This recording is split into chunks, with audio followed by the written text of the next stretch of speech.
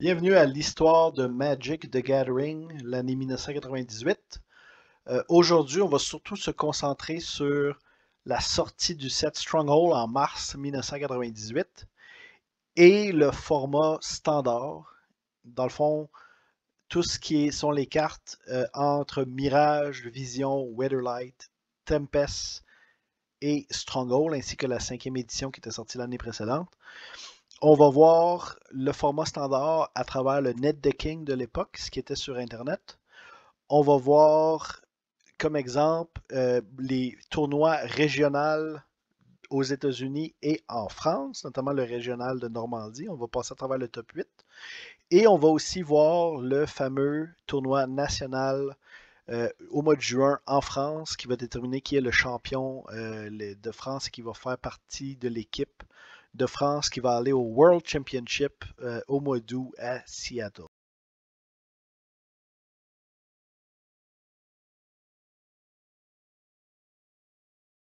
Le 2 mars 1998 sort le set Stronghold, la suite de Tempest, la suite dans le cycle de Rat, le fameux Weatherlight Saga.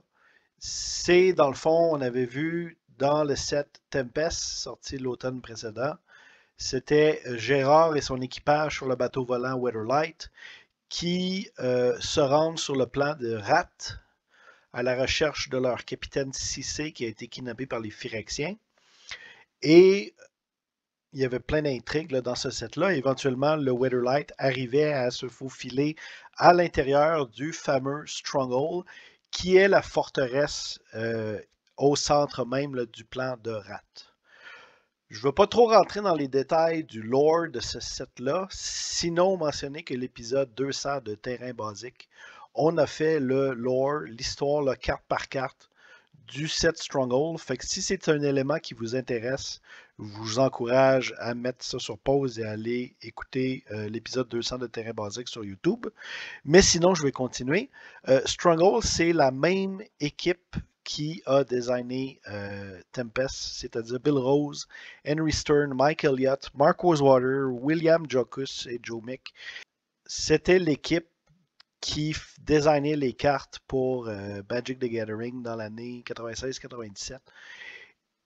Stronghold, c'est vraiment la continuité de Tempest. C'est presque les mêmes mécaniques, sauf que alors que Tempest euh, avait beaucoup lancé le balancier du côté agro avec des, stratégies agro très fortes, qu'on pense à Shadow ou les cartes dans le rouge. Stronghold essaie de ramener la balance de l'autre bord, c'est-à-dire en faisant des cartes très défensives. Euh, c'est un peu le thème du set d'être. Dans le fond, Stronghold, ça veut dire forteresse en anglais c'est un peu ça que ça veut dire, c'est de, pouvoir de, donner les outils pour bâtir des decks de contrôle. Et ça l'amène, notamment dans le draft Tempest Stronghold, ça l'amène, ça ralentit beaucoup la méta. Euh, et on retrouve des stratégies de contrôle très intéressantes. Alors que le set Tempest nous montrait un peu les, différentes particularités du set euh, du, plan de rat, Stronghold va plutôt nous montrer qu'est-ce qui est à l'intérieur de la forteresse. Et il y a beaucoup de cartes là, qui représentent les salles. Par exemple, on, on, passe au Bottomless Pit, qui est une carte là, qui va devenir un staple des decks de discard. Un colorless de noir, à ton upkeep, chaque joueur doit discarter une carte au hasard. Vous remarquez sur le artwork, quand on voit des espèces de ponts en pierre qui relient des espèces de sphères. Et en dessous, il y a un puits sans fond, hein, ça, porte bien le titre. Euh, ce même artwork-là, on le retrouve par exemple sur le Ensnaring Bridge, où ce qu'on voit euh, euh Bridge fait en sorte que les créatures qui ont un power plus grand que le nombre de cartes que tu as dans ta main ne peuvent pas t'attaquer. Vous remarquerez sur la carte, on voit Gérard qui marche sur une espèce de pont avant d'entrer dans une porte circulaire d'une espèce de, boule, de pièce ronde. Ben, c'est le même art qu'on retrouve sur le Bottomless Pit. Il y a une synergie du artwork dans Stronghold qui vise à raconter euh, une histoire. Euh, les mécaniques qu'on retrouve dans Stronghold, ben, on a le retour de Boyback. Euh, Boyback qui faisait son apparition dans euh, Tempest. mécanique design, by the way, par Richard Garfield, je le rappelle. Euh, le buyback de Stronghold est un peu moins présent que dans le set précédent, mais il va y avoir des cartes très significatives, notamment Constant Miss, hein, un colossus, un vert. C'est un fog, hein, créature ne font aucun dégât ce tour-ci. Puis tu peux le ramener dans ta main en sacrifiant un land. Euh, vous allez voir quand on va faire le standard de l'été 98, il y a des gros decks de Turbo Fog basés autour de Constant Mist euh, avec Geas Blessing de Witherlight pour, dans le fond, faire en sorte que ton adversaire est jamais capable de te faire du dégât. Le fait de buyback, de sacrifier un land, est très fort si tu trouves une façon de ramener ton land en jeu à partir du graveyard. Moi-même, je vais jouer beaucoup autour de la carte Seating Anger, que je trouvais très pratique dans les decks mono-rouge à l'époque, qui est plus 3, plus 0 sur ta créature. Tu payes 3 colorless, tu gardes le Seating Anger dans ta main, tu le ramènes après qu'il est casté. Euh, et par exemple, si tu payes 5, si tu as 5 de mana disponible, ben, tu payes un rouge, tu donnes plus 3, plus 0, tu payes le buyback, tu le recasses dans le même tour avec ton cinquième mana rouge. Euh, dans le fond, tu as donné plus 6 à ta créature, que par exemple 2 de power, ben, tu fais 8. Tu as juste besoin de faire ça deux fois. Là, vous voyez le genre. Euh, l'autre mécanique qui revient, c'est le Shadow. Shadow, euh, est beaucoup moins présent dans, Stronghold. Néanmoins, il y a trois créatures de chacun des euh, clans qui sont prisonniers euh, entre Dominaria et Rat. J'en avais parlé. c'est dans toute la storyline de, Tempest. Là. Donc, il y a une carte des Doti, une carte pour les Soltari et une carte pour les Talakos, bien que celles-ci ne vont pas voir vraiment beaucoup de jeux. Les Lycides aussi sont de retour. Hein. L'ancêtre des Bestos. encore là, pas vraiment, ça va pas vraiment voir beaucoup de jeux en construct, fait que je vais passer rapidement par-dessus, mais chacune des couleurs a un licide euh, qui sont des uncommon. Euh, je, vais vous donner par exemple un exemple. Calming Licid, euh, c'est un 2-2 qui rentre en jeu, tu payes 3. Cependant, euh, tu peux le taper et payer un blanc pour faire en sorte qu'il perd toutes ses habilités et il devient un aura qui s'attache sur une autre créature et qui fait que la créature ne pourra plus t'attaquer. Fait que une espèce de verre sur le front qui le rend impotent. Les slivers sont de retour aussi. Euh, cette fois-ci, cependant, puis c'est comme des slivers de palais, hein, c'est les slivers qui sont à l'intérieur du stronghold. Ceux-ci sont multicouleurs et les, ça représente les cartes multicolores du set stronghold qui va être le dernier set à avoir des cartes gold avant invasion euh, plusieurs années plus tard. Donc, euh, il va y avoir des affaires vraiment fortes. Et, ça va vraiment être les slivers qui vont rendre possible de jouer des slivers de façon vraiment compétitive en standard. Euh, et, ils vont notamment introduire le, la Sliver Queen, qui est un sliver légende 7-7 qui tu peux payer euh, deux colorless pour créer des slivers 1-1 euh, et qui a une place centrale dans le storyline. Dans le fond, c'est euh, Karn lorsqu'il avait été capturé euh, par les Phyrexiens, il va s'échapper de sa prison et il va découvrir le Sliver Queen qui est gardée prisonnière du Stronghold par Volrat pour créer, dans le fond, là, tous les fameux euh, Slivers. Euh, le meilleur Sliver de tous est dans le set Stronghold, c'est le Crystalline Sliver, un blanc, un bleu pour un 2-2 qui fait en sorte que tous tes Slivers ont maintenant Shroud. Fait que tu peux pas les enlever. Si, si tu mets tu sors un Crystalline Sliver, il s'affecte lui-même, hein, by the way, parce que c'est toutes les slivers ont Shroud. Euh, ça fait en sorte que tes slivers ne peuvent plus être targetés. Ça va donner lieu à un archétype qui va s'appeler le Counter Sliver et qu'on va voir beaucoup tout à l'heure dans les decks les plus joués dans les top 8. Ensuite, euh, plus qu'un, je vous ai dit, ça a un aspect très défensif. Euh, Stronghold amène un wall dans chacune des couleurs et ainsi qu'un enchantement qui fait que les walls peuvent maintenant attaquer, euh, ce qu'on n'avait pas vu depuis Alpha. Dans le fond, les walls de, euh, de Stronghold vont être très très joués, surtout le Wall of Blossom, qui va probablement être une des meilleures cartes de l'année 1998. On va voir tout à l'heure des decks qui sont construits autour du Wall of Blossom. Un colorless, un vert pour un 0-4 qui se remplace lui-même. Il rentre en jeu, tu piges une carte c'est euh, ça a l'air de rien, là, mais c'est vraiment fort parce que euh, dans le fond, c'est quand tu joues un deck de contrôle, c'est ce que tu veux sortir au tour 1 ou 2. Et le fait qu'il se remplace, ben, c'est pas grave si l'autre le détruit. Tu as déjà pigé une carte. Euh, fait que c'est comme une carte gratuite, on peut le voir un peu comme ça. et un 0-4, là, ça l'arrête la plupart des petites créatures des decks aggro de l'époque. Wall of Blossom va être euh, probablement une des cartes les plus, une des créatures les plus jouées dans l'année 98 et c'est encore joué de nos jours en 2023 dans certains types de decks, notamment les decks de Bant en moderne. Stronghold nous introduit les fameux corps. Euh, j'avais mentionné que parmi les peuples prisonniers du plan de Rat, summonés par euh, Volrat et qui sont maintenant prisonniers depuis de nombreuses années, qui ont développé leur propre civilisation sur le plan de Rat, ben on retrouve dans, Tempest, il y avait les Vec et les Dalles. Euh, dans Stronghold, ils nous introduisent les corps. les corps sont des créatures à la peau très pâle et qui ont tous la particularité de pouvoir rediriger des dégâts euh, qui, les targetaient sur d'autres créatures que tu contrôles. Par exemple, le Warrior encore, 2 blancs pour un 2-2. Tu payes 0 pour rediriger un dégât qui allait sur Warrior encore vers une autre créature que tu contrôles. Par exemple, si tu as des euh, Priest qui sont protection contre le rouge, ben si il y a un spell de feu qui target ton warrior encore ou qui bloque une créature rouge, ben ça te permet d'envoyer le dégât euh, ailleurs. Euh, tu vas retrouver par exemple le nomade encore, un 1 pour un blanc. Tu peux rediriger un dégât de nomade encore sur une autre créature. Vous voyez, ils ont tous sensiblement la même chose. Euh, ça, surtout le warrior encore va être ajouté dans les decks White Winnie en combinaison avec Soltary Monk, qui est protection contre le noir, fait que tu joues contre des decks noirs, et Soltary Priest, euh, qui est protection contre le rouge. Donc, ça permet de faire une espèce de synergie. Mettons, tu as en quatre copies chacune. Euh, ça te permet, en fait, là, de euh, faire en sorte que tes créatures. Le, problème des decks d'aggro, c'est qu'ils viennent vulnérables au removal. Ça, ça les, va les aider beaucoup. Et notamment le deck qui va gagner le National Championship de 1998 aux États-Unis joue des Warriors encore.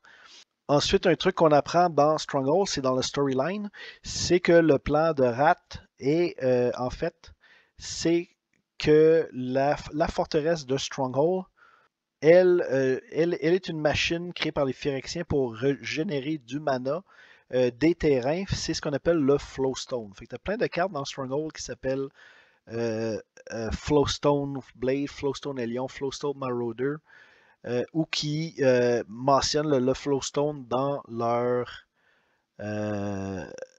leur flavor text. dans le fond, c'est que le plan de rat est un plan artificiel. Le Flowstone, c'est une espèce de.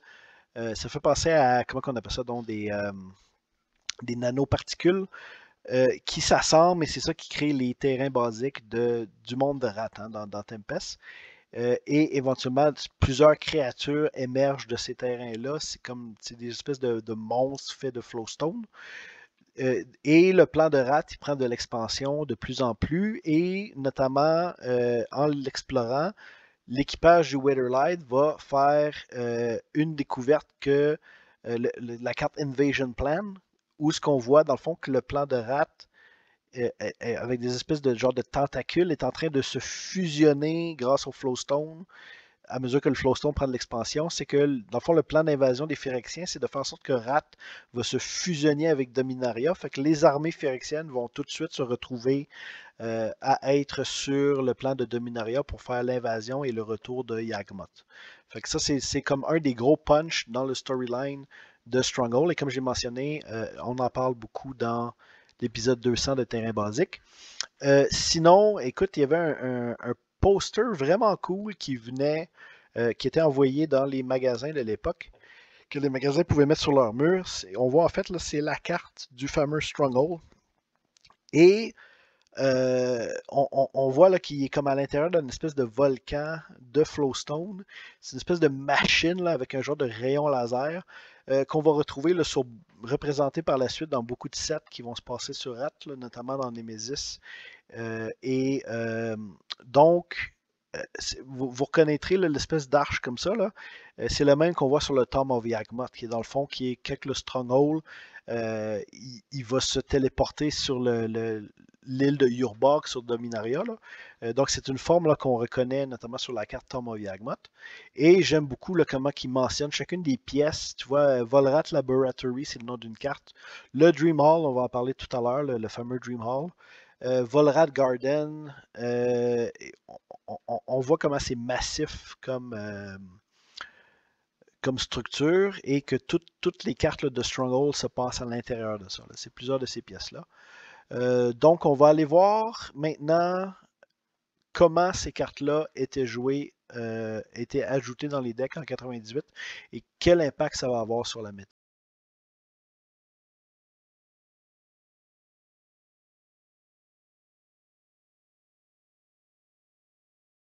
Donc, on va maintenant se plonger dans le standard du printemps 1998, qui était composé des sets Mirage, Vision, 5e édition, Weatherlight, Tempest et le plus récent ajout, Stronghold, sorti au mois de mars, mais seulement disponible en standard à partir du mois de avril 1998, parce que je le rappelle, à l'époque, il laissait un délai de un mois entre la sortie d'un set et sa légalité dans le format standard afin de laisser aux gens le temps euh, d'acquérir les cartes. Hein. On il y avait beaucoup moins de disponibilité d'achat sur Internet à l'époque comme aujourd'hui. Euh, donc, le format standard, comme on va le voir, ça va être à travers. Il n'y a aucun Pro Tour euh, pendant, pendant les six premiers mois de 1997 qui a du format standard. Et ça, c'est vraiment une particularité de l'époque. C'est pas comme aujourd'hui. Euh, Wizard of the Coast, pour son Pro Tour, favorisait le bloc construit et les drafts et les seals. Les formats standards, si tu voulais le jouer en format compétitif, c'était à travers le circuit, ce qu'on appelle les régionales, euh, dans le but d'aller au national. Euh, le régional, c'était quoi? Ben, c'était au mois de mai, il y avait dans tous les pays où il y avait des cartes Magic, des tournois de Magic, chaque, pays était divisé en zones et dans chacune de ces zones-là, des, tournois étaient organisés pour euh, euh, les qualifications des gens qui allaient pouvoir aller au national de ces pays-là. Ce qu'on a ici à l'écran, c'est le poster qui était dans les magazines de l'époque sur les régionales aux États-Unis qui allaient avoir lieu euh, le 16 mai 1998 en format standard. On voit, il mentionne encore type 2 entre euh, parenthèse, parce que les, joueurs de l'époque disaient encore type 2 plutôt que standard. donc ça, c'était pour les standards des États-Unis, mais tu avais la même chose au Canada, tu avais la même chose en France, tu avais la même chose au Royaume-Uni, euh, en Italie, en Allemagne, en Suède, et ainsi de suite. Euh, le but, c'est que tu faisais les régionaux, puis pour gagner dans les régionaux, ben, c'est là que les gens se pratiquaient dans les magasins dans les semaines euh, précédentes. Euh, c'était dans le fond le, gros tournoi standard que tu voulais aller. Et le top 8 de chacun de ces régionales-là se qualifiait pour le national, qui celui-ci avait lieu plus là, fin juin, début juillet. dans le cas de la France, c'est dans la dernière semaine de juin. Et le tournoi national, dans le fond, c'était tous ceux qui avaient réussi à se qualifier dans les différents régionaux à travers leur pays. Ils allaient faire le tournoi national et le top 4 du national devenait l'équipe nationale de ce pays-là qui allait ensuite compétitionner au World Championship, le championnat mondial qui avait lieu au mois d'août à Seattle. Euh, dans le fond, c'est où il y avait les bureaux de, Wizard of the Coast. Donc, c'était ça le le circuit de tournoi que tu pouvais faire en standard à l'époque. De quoi avait l'air la méta standard après la sortie de Stronghold? Eh bien, on a ici le dueliste numéro 27, euh, Robert Hahn, qui était euh, un des auteurs du dueliste depuis 1997. Et c'était celui qui avait la job d'écrire à propos de la méta euh, des formats. Sa, sa, chronique, ça s'appelait Enlightened Tutor. On voit ici utiliser le titre Speed Limits, hein, parce que si on se rappelle là, que j'avais fait le, dernier épisode sur le standard de l'année 97 et de l'hiver, j'avais mentionné là, que c'était surtout à partir à cause de David Price, à partir du World Championship 1997 et jusqu'à la sortie de Stronghold, on, a vraiment une dominance des decks mono rouges, ce qu'on appelle les decks Curse Slight qui utilise dans le fond le 4 Curse Slight et une curve très basse de, burn et de créatures rapides. Euh, c'était vraiment comme autour de ça que la méta s'articulait. Et tu avais aussi des decks un peu plus vieux qui continuaient à être joués, comme le Pro Bloom Euh, j'avais parlé, c'était le deck de Kai Buddha, mais le, Pro Bloom qui avait popularisé Mike Long au Proto Paris l'année d'avant était très joué. c'était comme le deck combo que tu devais interagir avec. Et tu avais aussi des decks contrôle, les fameux decks propagande orb qui utilisaient propaganda, que tu dois, pour chaque créature qui attaque, que tu payes. Ils jouaient des winter orb que tu pouvais juste taper un land par tour et beaucoup de counter spells. Et généralement, ils tuaient soit en Milan ou en t'attaquant avec des steel golem. Donc, c'était pas mal les, gros decks forts de cette méta-là. Euh, tu avais Nécropotence, avait encore une présence, mais ça n'avait rien à voir avec l'année 96 et 97. Euh, c'était bon, ce qui gardait, à, cause que les, decks de burn rouge étaient, comme trop à la mode, c'était risqué de jouer nécropotence. Les, les, decks étaient trop rapides, donc tu n'étais pas capable de compétitionner. on évalue à peu près à 10, 10% le nombre de decks nécropotence qu'il y avait encore pendant l'hiver 98. Et ça va continuer à aller en diminuant. Euh, c'était surtout ce qu'on appelait les decks de Bottle Dance Necro, qui étaient dans le fond le nécropotence, Bottle Gnome et euh, Corpse Dance qui permettait de ramener dans le fond tes, Bottle Gnome du graveyard sur le battlefield pour ainsi gagner de la vie. vu que Corpse Dance il y avait buyback, ben, tu avais comme une espèce d'interaction de ramener ton, ton Bottle Gnome, le sacrifier pour gagner 3 vies et le ramener encore, ainsi de suite. Puis là, avec cette vie-là, ben, tu pigeais des cartes avec ton nécropotence. Donc, c'était pas mal, on, assiste pas mal à la fin des decks de nécro en type 2. Euh, c'était une, méta très rapide, très aggro, mais la sortie de Stronghold, comme je l'avais mentionné quand j'avais parlé de Stronghold tout à l'heure, Stronghold est un set qui vise à ralentir la méta. C'est un set défensif. C'est pour ça que Robert Hand utilise le terme speed limit. Hein. Euh, il va mentionner que ça va, être, ça va faire comme un gros swing vers des decks euh, très contrôle notamment grâce aux différents walls qu'il y a dans le set, euh, mais aussi plusieurs, combos entre certaines cartes. La, présence du Wall of Blossom, le 0-4, euh, va faire en sorte que les decks de contrôle vont avoir de quoi qu'ils peuvent mettre dès le. Surtout avec Lotus Petal, ils peuvent le mettre dès le, tour 1. Euh, dans le meilleur des cas, mais généralement au tour 2, ils ont un 0-4 qui va stopper la plupart des decks aggro.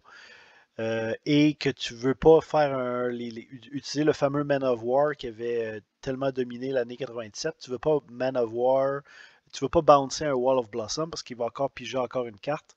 Euh, ça, c'était une grosse nouveauté qui changeait beaucoup la game. Le fait que le Wall of Blossom se, remplissait se remplaçait de lui-même tu avais aussi là, les, fameux spikes dans, Stronghold, les créatures spikes qui te permettaient de gagner beaucoup de vie. Euh, donc, ça permettait de, te garder en vie en attendant que tu t'installais euh, ton set contrôle.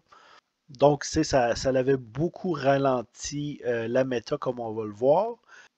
On va aller voir l'article de Robert Hand décrit plusieurs decks rapidement. Donc, euh, moi, je ne vais pas comme revenir là-dessus ici dans l'épisode. Ce qu'on va faire, c'est qu'on va aller voir les decks euh, directement qui sont euh, les noms mentionnés dans cet article-là et qui ont défini la méthode du standard du printemps 98 qui est très, très, très divers. Il y a quand même beaucoup de, decks. avant qu'on se lance dans la description des decks, je veux juste attirer l'attention sur cet article du dueliste numéro 28. Euh, écrit par Monty Ashley. C'était les, nouvelles des tournois. Donc, il donnait, là, là dans le fond, on est après les, régionales, euh, dans le fond, au mois de juillet. Et il donne un genre de breakdown de qu'est-ce qui s'est passé dans les régionales qui ont eu lieu, les, tournois régionaux qui ont eu lieu aux États-Unis. Bon, vous voyez, ça donne une idée de l'ampleur de ces tournois-là. Il y a 3093 participants de la côte ouest jusqu'à la côte est. Euh, il y en a eu 108 à la fin dans ces 3000-là euh, qui, ont eu une place pour aller au National Championship, qui était censé avoir lieu dans, la, dans le fond la fin de semaine du 4 juillet. Euh, il mentionne que pendant les régionales, tu vois, le, deck le plus populaire, le plus utilisé était le deck de Slight, euh, mais que sur les 108, tu en as seulement en as 24 qui sont des decks de, de aggro rouge. Euh, après ça, encore dans le, dans le aggro, il y avait quand même beaucoup de White Winnie puis de Black Winnie. On va voir des exemples de ce deck-là euh, dans, dans cette vidéo-là. Euh, tu vois, il mentionne que dans le, nord-est, tu avais 5 des, top 8 qui c'était soit du White Winnie ou du Black Winnie. ce qui est vraiment pertinent dans cet article-là, c'est à la fin, il mentionne, dans le fond, aux États-Unis, il y a la, carte est découpée en 15 régions de tournois. Et euh, dans le fond, des 3000 joueurs que tu as, tu en as 120 euh, qui, vont se qualifier pour aller au national. Puis toi, il mentionne que sur ces 120-là, tu avais 24 joueurs qui utilisaient des variantes de slide, hein, le deck rouge. Euh, tandis que les decks multicolores, comme les 5 Color Green, 5 Color euh, Green, qu'on va parler tout à l'heure, tu en as 30 qui ont fait dans les top 8. Euh, sinon, toi, il mentionne là, les White Winnie, il y en avait 15, Black Winnie, il y en avait 14. Des decks de réanimateurs, ça, ça va être 9. On va avoir un exemple tout à l'heure. Et c'est le début des fameux decks de Sliver. Tu vois, il y en a 8 qui sont des Counter Sliver. Euh, dans les, euh, les 120 decks qui se qualifient pour le national. Euh, puis là, c'est fun parce qu'il mentionne des particularités régionales, notamment le fait que, tu vois le Midwest, l'Ohio et le nord de la Californie, c'était des decks monocouleurs.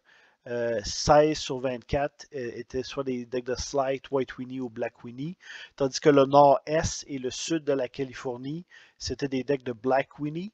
Euh, tandis que le Mid-Atlantic Region, ça c'est autour de Washington DC, dans le fond comme la côte est américaine, mais vraiment au centre, Philadelphie. Euh, tu vois, il y avait notamment des decks de Merfolk. Euh, tandis que tu vois, les, les, Rocky Mountain, tu avais des decks plus contrôle. Et le nord-ouest, c'est, toi, il, il, appelle même ça Sliverland, avec trois decks de Sliver dans le top 8. Euh, et tandis que le sud, de sud-est, c'était des decks de euh, contrôle 5 couleurs. Euh, tu vois, il y avait 7 decks de 5 couleurs et 7 decks monocouleurs. Donc, c'est quand même très varié et à, travers les, régions. Ce que j'aime, c'est que ça donne une idée de comment les régions étaient divisées.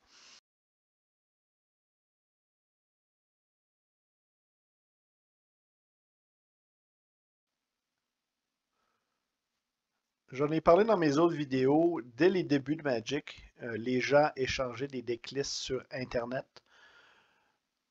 et débattaient de c'était quels les meilleurs decks. Euh, le net decking était quelque chose qui commençait en même temps que Magic, malgré la, quel point Internet à l'époque était primitif. 1998 euh, est vraiment l'année où que ça va vraiment décoller, que, ça va être je dirais un peu comme se répandre, alors qu'auparavant, c'était vraiment comme les insiders, les pro players. À partir de 98, là, il commence à avoir un volume de gens sur Internet assez grand pour que euh, il commence à avoir des vrais phénomènes de mode, des decks qui deviennent à la mode et qui se, répandent partout sur la planète dans les tournois. Euh, et on voit notamment dans le dueliste numéro 26, hein, c'est l'article de Virtual Toolbox, qui est un article d'une demi-douzaine de pages qui aborde la problématique je dis problématique hein, parce que c'était un peu comme ça que c'était vu, euh, du net decking, euh, avec un splendide dessin de Richard K. Ferguson, là, genre de mélange de cyberpunk puis médiéval avec des gros grimoires. ça dit dès la première page, en plein milieu, en grosses lettres, If you are playing Magic without using the web, you are putting yourself at an extreme disadvantage. Si tu joues à Magic sans utiliser Internet, euh, tu te mets en gros désavantage. Et euh, il mentionne notamment Going to the Dojo. C'était quoi Going to the Dojo? Ben, c'est le premier site web qui répertoriait des decklists et euh, des tournois. maintenant, il y en a plein des sites web comme ça, mais ça, c'est vraiment le premier. J'en ai souvent parlé, le dojo. Et ça me sert beaucoup de source là, pour les decks que je vous montre. tu peux aller voir, tu vois, mettons qu'on va dans Régional 98, chacun des trucs, c'est des euh, tournois qui sont euh, discutés. Par exemple, les régionales de Normandie, le 22 avril 1998. Et là, tu as des déclics et des débats. Vous voyez le genre. Euh, et ça, faisait, ça, frustrait beaucoup les old-timers. Tu vois, il mentionne ici là, un proto-vétéran est allé dans un tournoi et il s'est fait battre par un petit punk de 9 ans qui a pris un deck de Burn créé par Schneider directement sur le dojo. Euh, ça faisait beaucoup jaser à l'époque. Il y a des gens qui se disaient que ça allait comme tuer Magic, le fait que n'importe qui, c'était plus vraiment les skills. Tu quelqu'un qui, qui postait le meilleur deck sur Internet, puis là, tout le monde le copiait. Euh, ces débats-là ont vraiment commencé en 1998. Euh, c'est là que je retrouve la trace. le, monde, le monde plaignait un peu dès, dès 94-95 dans quelques coins obscurs du web. Mais à partir de 98, j'ai vraiment marqué qu'il y a beaucoup de textes sur Internet qui abordent cette question-là. Euh, donc, ce qu'on va aller voir un peu, c'est les decks justement qui devenaient populaires grâce à Internet. Ben, il y en a pas mal. On, retrouve beaucoup leurs traces là, à travers l'année 98. Euh, on a ici notamment, là, euh, j'ai juste pris les six cartes principales parce que c'est tout ce qui vaut la peine. Le reste, ça, variait selon les trucs. Mais c'était le combo euh, Aluren Intruders Alarm. Donc, c'était un deck bleu et vert. ça n'a pas gagné de tournoi, mais on voit plein de gens essayer de bâtir autour de ça. Et Intruder Alarm était une carte dans, sortie avec Stronghold qui faisait que les créatures n'en tapent plus à l'untap step. Donc, ça l'affectait entre autres ton adversaire, ses créatures ne t'appelaient plus. Et à chaque fois qu'une créature rentre en jeu, tu untapes toutes les créatures. Donc, toutes les créatures autour de la table, même sur ton adversaire, untap. Euh, avec Aluren dans Tempest, qui est un enchantement qui fait que toutes les créatures peuvent être jouées euh, comme s'il y avait flash si on a un casting cost de 3 ou moins.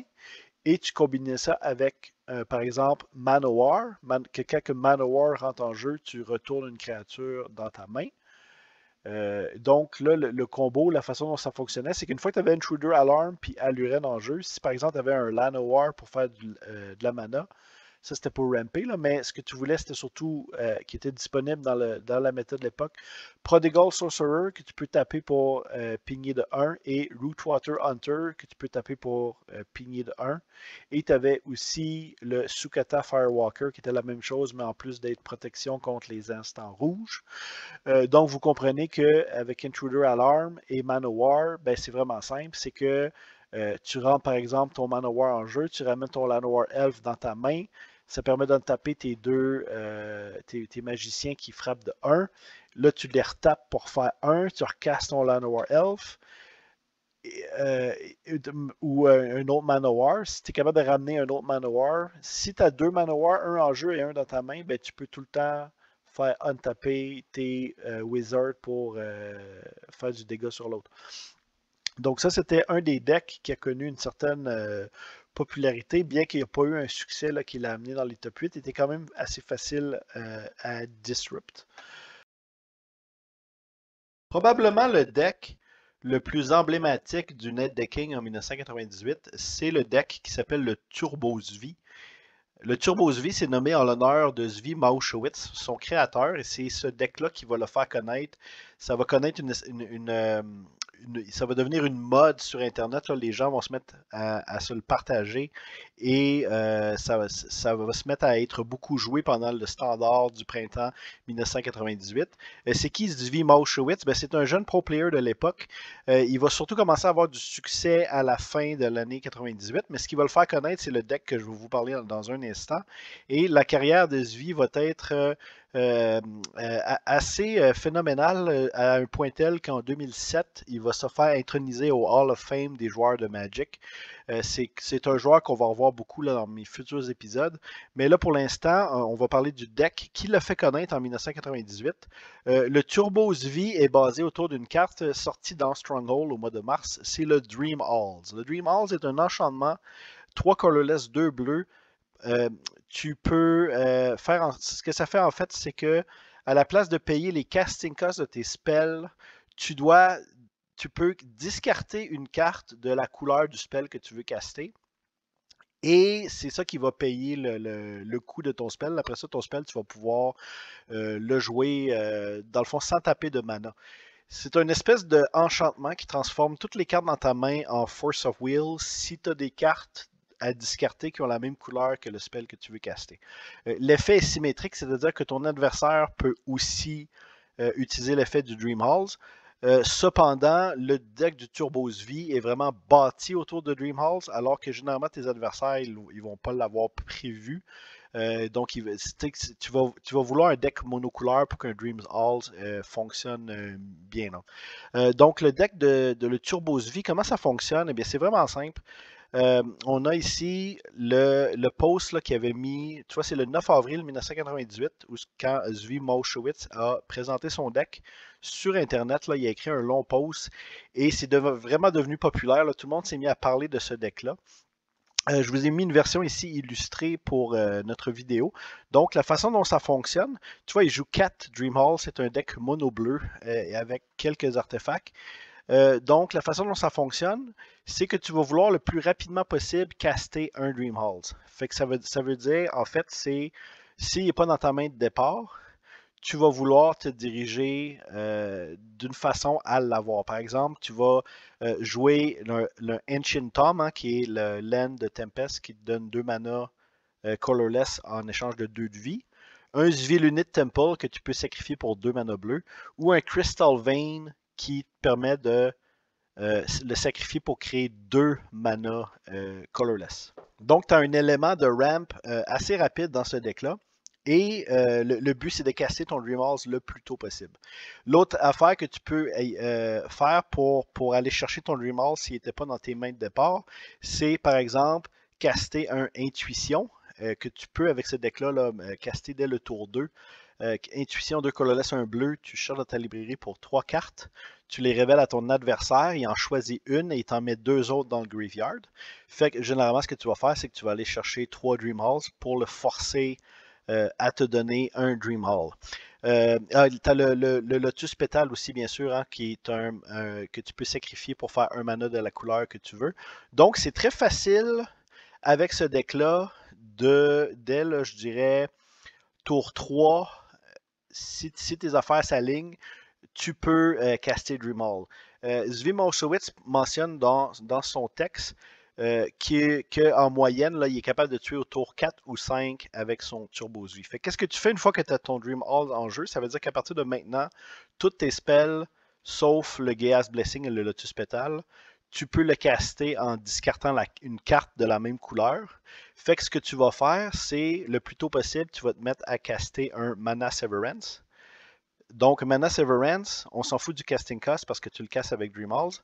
Tu prends toutes les lands dans ton deck et tu les remove from the game. Fait que là, ça fait en sorte qu'à partir de maintenant, une fois que ton Mana Severance est casté, tu ne vas plus jamais piger de land. Mais tu n'en as pas besoin parce que tu as Dream Hall en jeu, tes spells sont gratuits. Puis là, après ça, qu'est-ce que tu fais? C'est que tu te mets à piger des cartes. Donc, c'est les 12 cartes qu'on voit ici. Tu as Meditate de Tempest, qui est tu skips ton prochain tour et tu piges 4 cartes vous allez voir, tu n'as pas besoin de ton prochain tour. Tu peux faire plusieurs meditate pour piger 4, 8, 12 cartes. L'important, c'est que tu remplis ta main là, du plus de cartes possible pour réaliser ton combo. Euh, la carte Sift, 3 colorless, un bleu, elle est très importante parce qu'elle t'empêche de te miller toi-même. Euh, donc, elle aussi, tu vas la caster gratis. Tu piges trois cartes et tu choisis une carte que tu vas discarter. Ce que tu vas envoyer dans ton graveyard avec un Sift, c'est un des trois Gaia's Blessing. Gaia's Blessing fait en sorte que si elle s'en va dans ton graveyard sans avoir été casté, autrement dit, ça vient de ta librairie, euh, tu shuffles ton graveyard dans ta librairie et ça permet ainsi de ne pas euh, te melee out. Euh, tu as bien sûr un, counter, spell et 4 Memory Lapse, qui est une autre forme de counter spell pour protéger ton Dream Halls contre, par exemple, des, enchants. Tu as le Ancestral Memories aussi qui se casse très bien si c'est gratuit. Tu regardes les 7 premières cartes de ta librairie, tu en mets 2 dans ta main et le reste dans ton graveyard. Ça, c'est vraiment fort parce que dans le fond, ça, c'est vraiment l'ancêtre de Dig True Time c'est que tu vas checker les sept premières cartes de ta librairie. Comme j'ai mentionné, vu que tu as casté Mana Severance, il n'y aura pas de land là-dedans. Et euh, tu vas aller chercher la pièce qui te permet de, finir la game. Ce que tu vas envoyer dans ton graveyard, ça va être un Gas Blessing pour rechauffer euh, tes cartes dans ta librairie. faut que ta main soit tout le temps pleine. Hein. c'est pour ça que tu as beaucoup de card draw parce que faut que tu discardes des cartes pour payer tes, pour, jouer tes spells avec le Dream Halls. Et le finisher de ce deck-là, ben, c'est tout simplement la carte Lobotomie. Euh, fait que, vous voyez, il, joue juste une seule copie de Lobotomie euh, qui va jouer à répétition. Fait que tu casses ton Lobotomie, tu regardes dans la main ton adversaire, tu choisis les cartes que tu as besoin, tu les enlèves from the game, de sa librairie, de son graveyard et de sa main. Ton Lobotomie s'en va dans ton graveyard, mais quand tu fais le Gaia's Blessing, le graveyard revient dans ta librairie, tu le repiges, tu repognes ton lobotomie. On est toujours dans le même tour. Hein? Tu n'as toujours pas passé ton tour. Une fois que ton combo commence, tu n'as pas besoin de, donner les tours à l'autre. Tout, tout, coûte gratuit tant que tu es capable de discarter des cartes. Puis vu que tu en piges plein, ben, c'est pas un problème. Fait que lobotomie, là, tu le recasses une deuxième fois, tu enlèves quatre cartes du deck de l'autre, tu recycles ton lobotomie avec ton Gaia's Blessing, recasse lobotomie jusqu'à temps que tu as enlevé du, deck de ton adversaire les cartes qui lui permettraient de, gagner la game. Je veux dire, généralement, ton adversaire va se rendre compte qu'il est fucked, peu importe ce qu'il va faire, à moins qu'il y ait un counter spell à un moment donné ou quelque chose là même à ça, même si as ton lobotomie, tu vas le recaster euh, avec autre chose, tu vas le recycler avec autre chose. Tant que ton Gaia's Blessing va dans ton graveyard avec euh, une intuition, un shift ou ancestral memories, il n'y en a pas de problème. Fait que c'est vraiment pour arrêter un deck de Turbos Vie, tu dois absolument trouver une façon de péter le Dream euh, ce deck-là va vraiment devenir populaire. Euh, on a ici, par exemple, Manuel Bévan, qui est un gros pro player que je vais parler plus tard tantôt, qui est un des, gros joueurs du Magic français de l'époque. Euh, qui a écrit, toi, French Regional Report, Turbos V. Il est allé euh, au championnat régional dans sa région à lui avec un deck de Turbos V. il ne l'a pas gagné, donc il a fait 4-2, je pense. Ce qui montre que ce deck-là n'est pas nécessairement dominant. Mais euh, il y a quand même une bonne opinion du deck. Et de toute façon, Emmanuel Bévan, il y avait tellement de pro player points qui étaient déjà qualifiés pour le national de France. Fait qu'il n'y avait pas besoin de gagner le régional en tant que tel pour se qualifier. Euh, mais sinon, lui-même, dans son tournament report sur euh, le, le, tournoi national de France qui a lieu à la fin juin 98, il mentionne que dans le top 8, on retrouve Jérémy Lagarde, on s'entend, le national de France, c'est tous les meilleurs joueurs de France qui se sont qualifiés, qui se ramassent à faire un tournoi de type 2 euh, au mois de juin. Euh, Jérémy Lagarde, qui est dans le top 8, euh, est sur un deck de Turbos V. Et il mentionne aussi qu'il y avait d'autres decks Turbos V rencontrés en cours de route. La faiblesse du Turbos V est soulignée par Eric Taylor dans ce post ici sur. il mentionne notamment que c'est ça, c'est très très, très weak. Là, si l'autre, il, te voit venir puis qu'il se prépare à péter ton Dream Halls, euh, ça, peut, ça peut facilement te, faire trébucher. Puis là, si tu n'as pas les, cartes aux bonnes places, surtout quand tu as sorti toutes tes lands de ton deck avec le Mana Severance, tu peux te retrouver là, que tu, vas nulle part avec ton deck. Là. Donc, le deck de le Turbos V n'est pas comme le meilleur deck de 98 euh, factuellement, mais beaucoup de gens à l'époque pensent que c'est le meilleur deck. Et vu qu'il y a comme un gros bouche-oreille sur Internet, tu as beaucoup de personnes qui se mettent à euh, jouer ce deck-là. Et euh, on, va, en rencontrer beaucoup. Mais, il n'y en aura pas beaucoup qui vont gagner des gros tournois. On n'en retrouve aucun dans les régionales qui en remporte un. Et non plus, là, quand on va arriver au national, les, tournois nationaux, il euh, n'y en a aucun qui va gagner les, tournois, même si plusieurs se qualifient dans les top 8.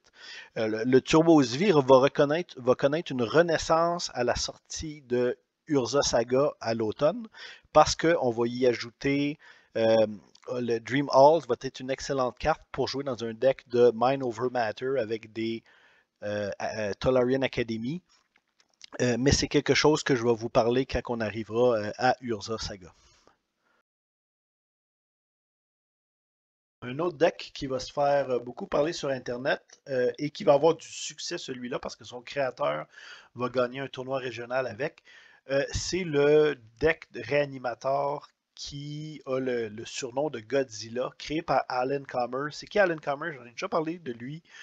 C'est vraiment le gars qui faisait des decks de Graveyard. Là, notamment, j'avais parlé d'un de ses decks dans mon épisode sur le, Vintage Legacy de 1997.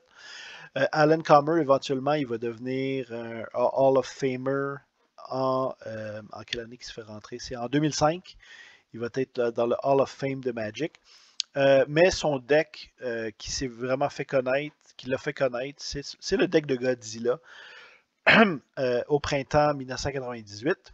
avec ce deck-là, il va gagner le, tournoi régional de Californie euh, il va battre tout le monde. Et la façon dont ce deck-là fonctionne, c'est vraiment simple. Euh, lui, ce, qui était nostalgique, c'était de jouer des decks, là, il, mentionne dans son Tournament Report ce qui aimait back in the days, dans, les débuts de Magic, c'est quand les, decks noirs faisaient Im Tuturak, ça mettait ses créatures dans le graveyard et il les ramenait en jeu avec des Animate Dead. Donc, il va essayer un peu de, reconstruire cette affaire-là. Il n'y a pas beaucoup de land dans son deck, parce que la plupart des trucs là, vont coûter un ou deux. Fait que tu vois, il est comme City of Brass qui fait du dégât. Euh, mais ça fait la couleur que tu veux. Underground River, c'est la même chose, bleu et noir. Gemstone Mine, qui peut juste être utile pendant trois tours. Euh, Undiscover Paradise, qui fait la couleur que tu veux, mais qui revient dans ta main. Et Sulphurous Spring, euh, qui est un autre Painland. Euh, donc, c'est un deck là, mélange rouge, bleu et noir, un deck Grixis. Euh, vous remarquez qu'il y a du vert, mais il n'y a pas besoin de mana vert. Euh, jamais il va caster, hard caster les Verdant Force. Fait que dans le fond, c'est le, but de son deck, c'est de ramper rapidement, mettre des affaires dans le graveyard. Pour mettre des affaires dans le graveyard, il y a plusieurs moyens. Il y a notamment le Merfolk Trader, qui est un 1-2 pour 2. Et quelqu'un qui rentre en jeu, tu piges une carte, puis tu discartes une carte.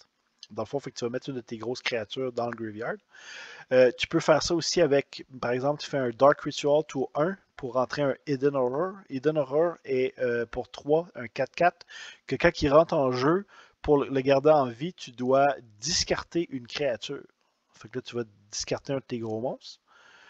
Euh, une autre façon que tu peux mettre des gros monstres dans ton graveyard, c'est en, en faisant un Firestorm. Firestorm, pour un rouge, tu choisis et tu discartes X cartes. Dans le fond, tu vas prendre toutes tes créatures que dans ta main, tu pitch dans le graveyard. Ça va faire X dégâts sur X target, que ce soit des créatures ou des joueurs. Fait que ça, qu'on des decks Winnie là, qui ont beaucoup de toughness 1, c'est très fort. Là. Tu crises trois créatures dans ton graveyard, tu fais, mettons, il y a trois créatures au bord qui ont 1 de toughness. Ben, avec un seul rouge, tu es capable d'en tuer trois. Vous voyez le genre? Euh, donc, une fois que tes créatures sont dans le graveyard, là, vous voyez, les grosses créatures qui veulent mettre dans le graveyard, tu as Shivandrigan, Verdant, Shivandrigan, on le connaît ça bien, 5-5 hein, flying que tu peux pomper, il y a fire breathing. Euh, Verdant Force, Verdant Force, 5 colorless, 3 verts, ça, ça vient de Tempest.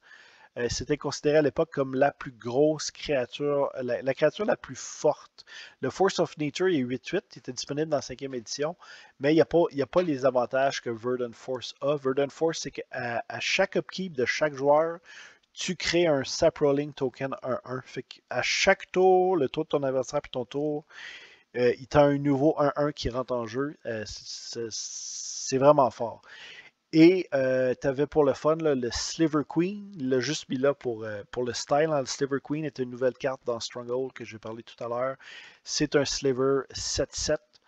Euh, et le Necro Savant qui est juste un, dans un 5-5. Quelqu'un qui est dans le graveyard, tu peux payer 5 pour le ramener en jeu. Et pour ramener, dans le fond, une fois que ces créatures sont dans ton graveyard, tu vas les ramener en jeu tu as soit Cat Dead, qui est un aura qui permet de prendre une créature le graveyard, tu la mets en jeu, elle a moins 1 toughness. Mais tu sais, on s'en fout, là, mettons un Verdant Force 6-7 au deuxième tour, hein, let's go. Euh, ou ton Nécromancie, qui est la même chose. Nécromancie, ça peut être un Animate Dead, tu peux payer, dans le fond, tu payes 3. Euh, tu ramènes une créature sur le battlefield. Comme le Animate Dead, si le Nécromancie se fait péter, tu perds ta créature. Euh, cependant, il y a le petit twist, la raison pourquoi il coûte 3, c'est que tu peux le caster en flash euh, cependant, euh, à la fin du tour, le nécromancie, tu dois le sacrifier. Dans le fond, ça c'est pratique pour euh, si tu veux bloquer par surprise avec un gros Shivandrigan ou un Verdant Force, ben, tu peux sortir par surprise en flash un nécromancie. Vous voyez, le deck là, il est très tight. C'est pour ça qu'il n'y a a pas besoin de beaucoup de land. Euh, et sinon, ben, il y avait pour le hardcasté deux Living Dead. Living Dead, j'en ai déjà parlé. C'est Sorcery de Tempest que tu prends toutes les créatures qui sont dans les graveyards, tu les mets dans une pile à part. Ensuite, tu enlèves toutes les créatures qui sont sur le battlefield. Dans le fond, tu fais un board wipe, tu envoies tout ça dans le graveyard. Et celles que tu avais mis de, côté avant, tu les ramènes directement en jeu. Euh, ça coûte 5. Euh, ton Dark Ritual t'aide à le caster. Euh, mais ça, ça servait surtout à faire un board wipe. Là. Euh, si, ta game, tu l'as pas encore gagné, là, ben, tu peux comme un peu comme reset le board state. Puis, vu que tu as mis plein de créatures dans ton graveyard, ben, tout ça, ça rentre en jeu. Euh, merci, bonsoir. Euh, il y a 4 Banalik hein, pour euh, protéger ces créatures. Banalik, j'en ai parlé tout à l'heure, un excellent counter spell. sinon, on peut aller voir son sideboard pour le fun. 4 hein. Dread of Night qui donne moins 1, moins 1 à toutes les créatures blanches. Fait que ça, c'est vraiment contre les decks de White Winnie. Euh, trois hydroblasts pour counterer les spells rouges. Dans le fond, c'est contre les decks. Les, decks de slide rouge. 4 pyroblasts contre les decks contrôle bleu. 3 Tranquil Domain, qui est un, un colorless, un vert, tu détruis tous les enchantements. Ça, c'était contre les decks de contrôle, notamment Shutdown des Circle of Protection. fait que c'est pas mal le fun ce deck-là. J'aime beaucoup sa synergie. C'est comme un des premier deck de réanimateur vraiment fort. Euh, il y en a eu d'autres avant, comme le, Buried Alive en 1987, mais ça, c'est le, deck de réanimateur dans au printemps 98. Euh, la raison pourquoi il l'a appelé Godzilla, ben, c'est comme un running gag. C'est euh, avec les gens avec qui il avait créé ce deck-là. il s'était dit, dans le fond, le Verdant Force, il est caché dans le graveyard jusqu'à temps que tu le fais sortir. C'est comme un genre de gros Godzilla. Puis il disait que le Shiva Dragon, c'est comme un. comment il s'appelle Un Roda. Et Silver Queen, Sliver Queen, c'était le Motra. même un Hidden Horror, là, si tu ramènes un Hidden Horror, c'est quand même un 4-4, c'est à ne pas négliger non plus. C'est quand même une grosse créature. Donc, pas mal de fun le deck de Alan Comer.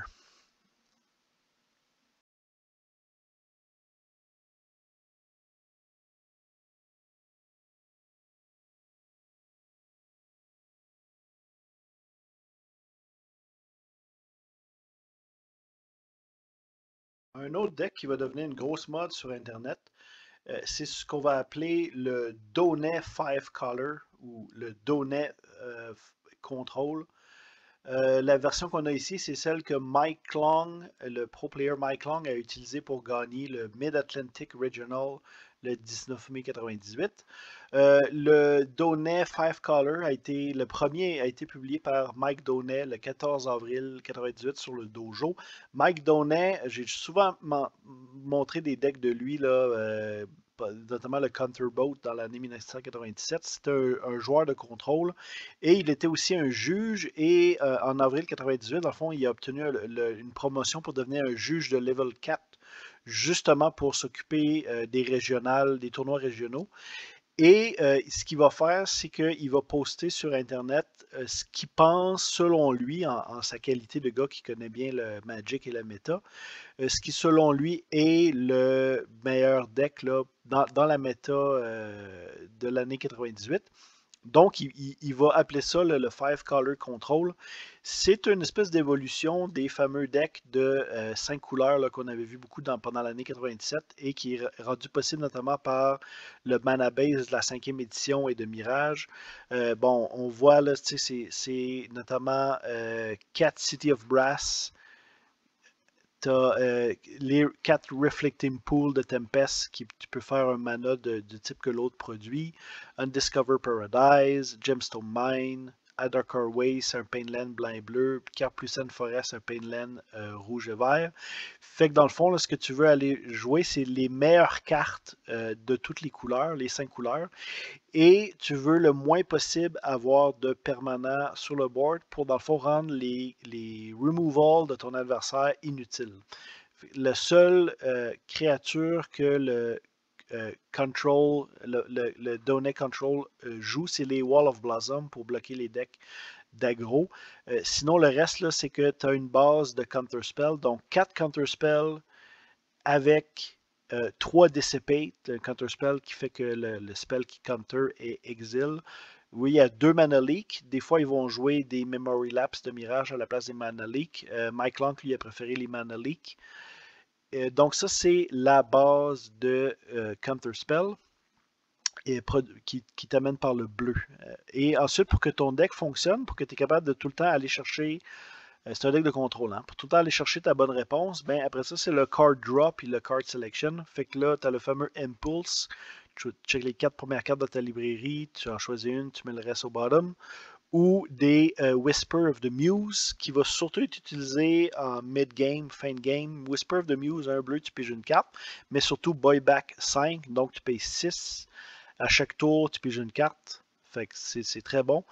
Euh, et ton blanc, euh, ça, donne deux, deux Gérard Wisdom, que tu gagnes deux de vie pour chaque carte que tu as dans ta main, un sorcery, ou des Wrath of God pour wipe le board. donc deux colorless, deux blancs tu détruis toutes les créatures. Il joue les deux intuitions que j'ai parlé tantôt aussi. Ça, c'est pour le card selection. Euh, mais surtout, ce que tu veux euh, faire, dans le fond, c'est qu'en début de game, tu vas counterer les spells. Éventuellement, quand tu as tes 4 mana, tu vas faire un Wrath of God pour clean the board. Et éventuellement, ce que tu veux, c'est qu'avec ton intuition qui permet de mettre des Geas Blessing dans ton graveyard, euh, Blessing va, comme, comme avec le deck de Turbos V, va recycle ce qui est dans ton graveyard, dans ta librairie. Mais euh, vu que tu piges beaucoup de cartes avec les Whisper of the Muse puis les Impulse, tu vas aller de plus en plus chercher tes lands jusqu'à temps qu'il y a de moins en moins de lands dans ton graveyard et dans ta librairie. Fait que, à mesure que la game avance, tu vas de plus en plus piger des cartes qui sont pertinentes euh, pour le board. Et éventuellement, tu vas avoir ramassé tellement de laine que tu vas pouvoir faire le Fireball fatal ou le Earthquake fatal. Tu vois, c'est son seul finisher dans le deck. Il joue euh, deux Incinerate, mais généralement, il va être utilisé pour tuer les créatures. Mais les, les Gas Blessing fait que le deck il se recycle continuellement. Avec trois désenchants, bien sûr, pour euh, détruire les enchantements et les artefacts. Le deck, il se recycle continuellement, fait que tes spells, ils reviennent. Et euh, surtout que ton Whisper of the Muse, là, que tu peux payer 6 euh, à chaque tour, si tu n'as rien counter-spellé, ben, à la fin du tour de l'autre, là, tu, fais Whisper of the Muse. c'est un deck qui est très difficile à piloter, mais qui était un des meilleurs decks au printemps 98. On va le retrouver dans beaucoup de top 8 comme j'ai mentionné, son seul finisher, c'est son Fireball. Tu fais maintenant un Fireball de 6, ça va dans le Graveyard. Un petit peu plus tard, le Gas Blessing va te le ramener. Tu vas le tu vas le refaire. Euh, c'est un deck qui est patient. Hein. C'est un deck, c'est soit que tu vas miller l'autre complètement ou que euh, tu le finis avec un gros Fireball.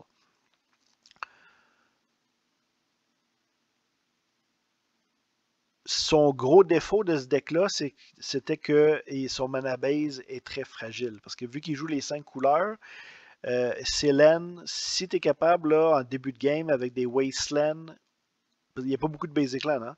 Fait que Wasteland permet de péter toutes ces lands, à, part les 4 islands, mettons. Euh, si tu es capable de, péter les laines qu'il a besoin, là, surtout les laines bleues, euh, tu peux, euh, ou les laines rouges, tu peux vraiment le mettre dans une fâcheuse position. En fait, c'est que en, début de game, si tu casses ses lands, tu vas le retarder, puis là, tu le tues. Euh, le, but d'un deck donné contrôle, c'est de survivre les premiers tours pour éventuellement. Il y a son espèce de loop.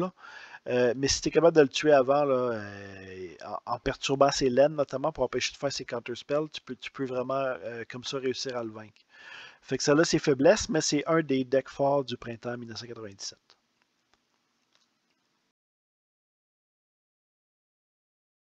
Le printemps 98 euh, va aussi ramener à l'avant-plan un, deck euh, que ces dernières années, on avait juste principalement vu sous la forme de les decks de nécropotence.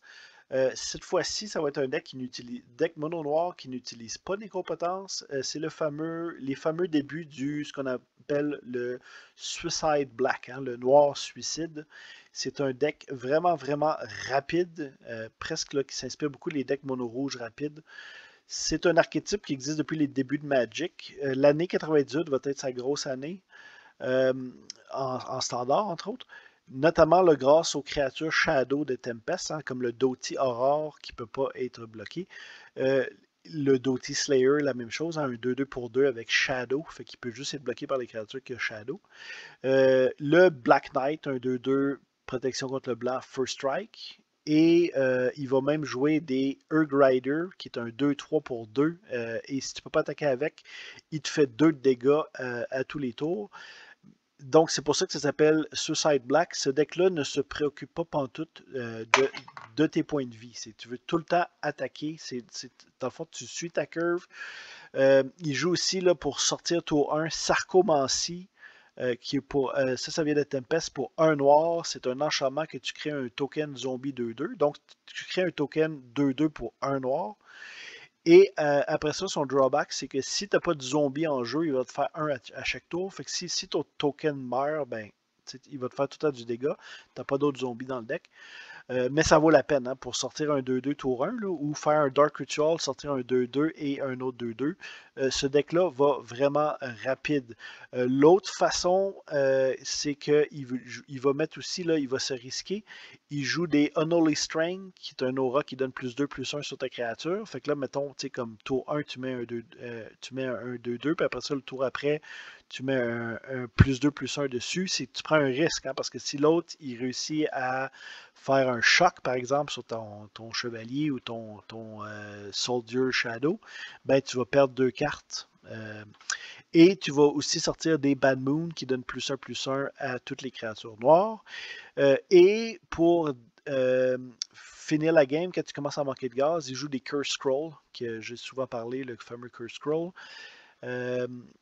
Surtout, une, il va jouer du Land Destruction, donc 4 Wasteland, et euh, dans ce cas ci c'est 3 Choking Sand, qui est un vient de vision, euh, de mirage, un colorless, deux noirs, tu détruis un land. Fait que tu vas. Ça, c'est très bon, notamment les decks de contrôle 5 couleurs, comme on a vu tout à l'heure. Euh, il va aller perturber le mana base de l'autre, mais c'est surtout ses dates rapides. Ça, c'est le deck de Christian Stinger qui a gagné le régional du sud des États-Unis. Je pense que le tournoi a lieu à Albuquerque, au Nouveau-Mexique. Et elle et son euh, partenaire, qui était aussi sur le même deck, euh, ont, vraiment euh, ramassé le tournoi. Il y a comme j'ai mentionné au début, début il y a beaucoup de decks de suicide, de suicide noir qui ont gagné des régionales dans le, sud-ouest des États-Unis à l'époque. et la petite touche finale hein, qui, rajoute un peu l'aspect suicide au deck, c'est le Carve Expite. Euh, que tu peux caster pour un Dark Ritual ou, trois 3 mana noirs. Euh, c'est un instant, donc tu peux le caster pendant le tour de l'autre. Ce qu'il va faire, c'est que tu vas sacrifier tous tes permanents, tu vas discarter toute ta main, mais tu fais 5 de dégâts euh, à ton adversaire. Puis si vous avez déjà joué des decks de aggro, vous savez que souvent quand on perd, l'autre il reste 3, 4, 5 points de vie ben, Carvex vient exactement euh, finir la job, comme on dit. Euh, on a aussi, deux Necratal qui, quand ils rentrent en jeu, tu détruis un non-black creature. Euh, dans le fond, il fait un terreur en rentrant en jeu. le sideboard, Diabolique Edict pour tuer les créatures. Coercition, tu vas checker dans la main de l'autre, tu choisis une carte, à mettre dans graveyard, ça, ça, scrape les combos. Perish contre les decks verts. Cat Gloom, que tous les spells blancs coûtent 3 de plus à jouer. Euh, et Spinning Darkness, il en joue 3. Tu peux le jouer gratuit en discartant une, euh, en enlevant les trois cartes noires de ton graveyard à la place de payer son casting cost de, 6. Généralement, c'est ce que tu vas faire. Dans le fond, c'est tes créatures qui sont mortes pendant la game. Ça permet de drainer de 3. Donc, ça aussi, c'est une façon euh, de terminer la game, là, qu'il reste quelques points de vie à ton adversaire. Donc, le deck de Suicide Noir va être un des autres gros decks de l'année 98, à tel point que le dueliste numéro 29, euh, il constate il consacre un article de deux pages, Dead Before Dishonor, The Razor Edge of Suicide Black, euh, où ce qui nous décrit là, pas mal tous les trucs du métier pour jouer. Euh, tu vois, c'est là que j'ai pris la liste de euh, Christia Stenger, Southwest Regional. et il mentionne tous les petits trucs là, pour bien jouer ce deck-là. Et aussi le dueliste numéro 29, j'en ai souvent parlé, le fameux article de Art of Beatdown de David Price. Euh, c'est surtout à propos de son deck rouge, mais il consacre aussi euh, une section euh, sur les decks de mono noir suicide, avec même des suggestions de sideboard. ça, ça, bien sûr, c'est le, le, format standard du printemps 1998.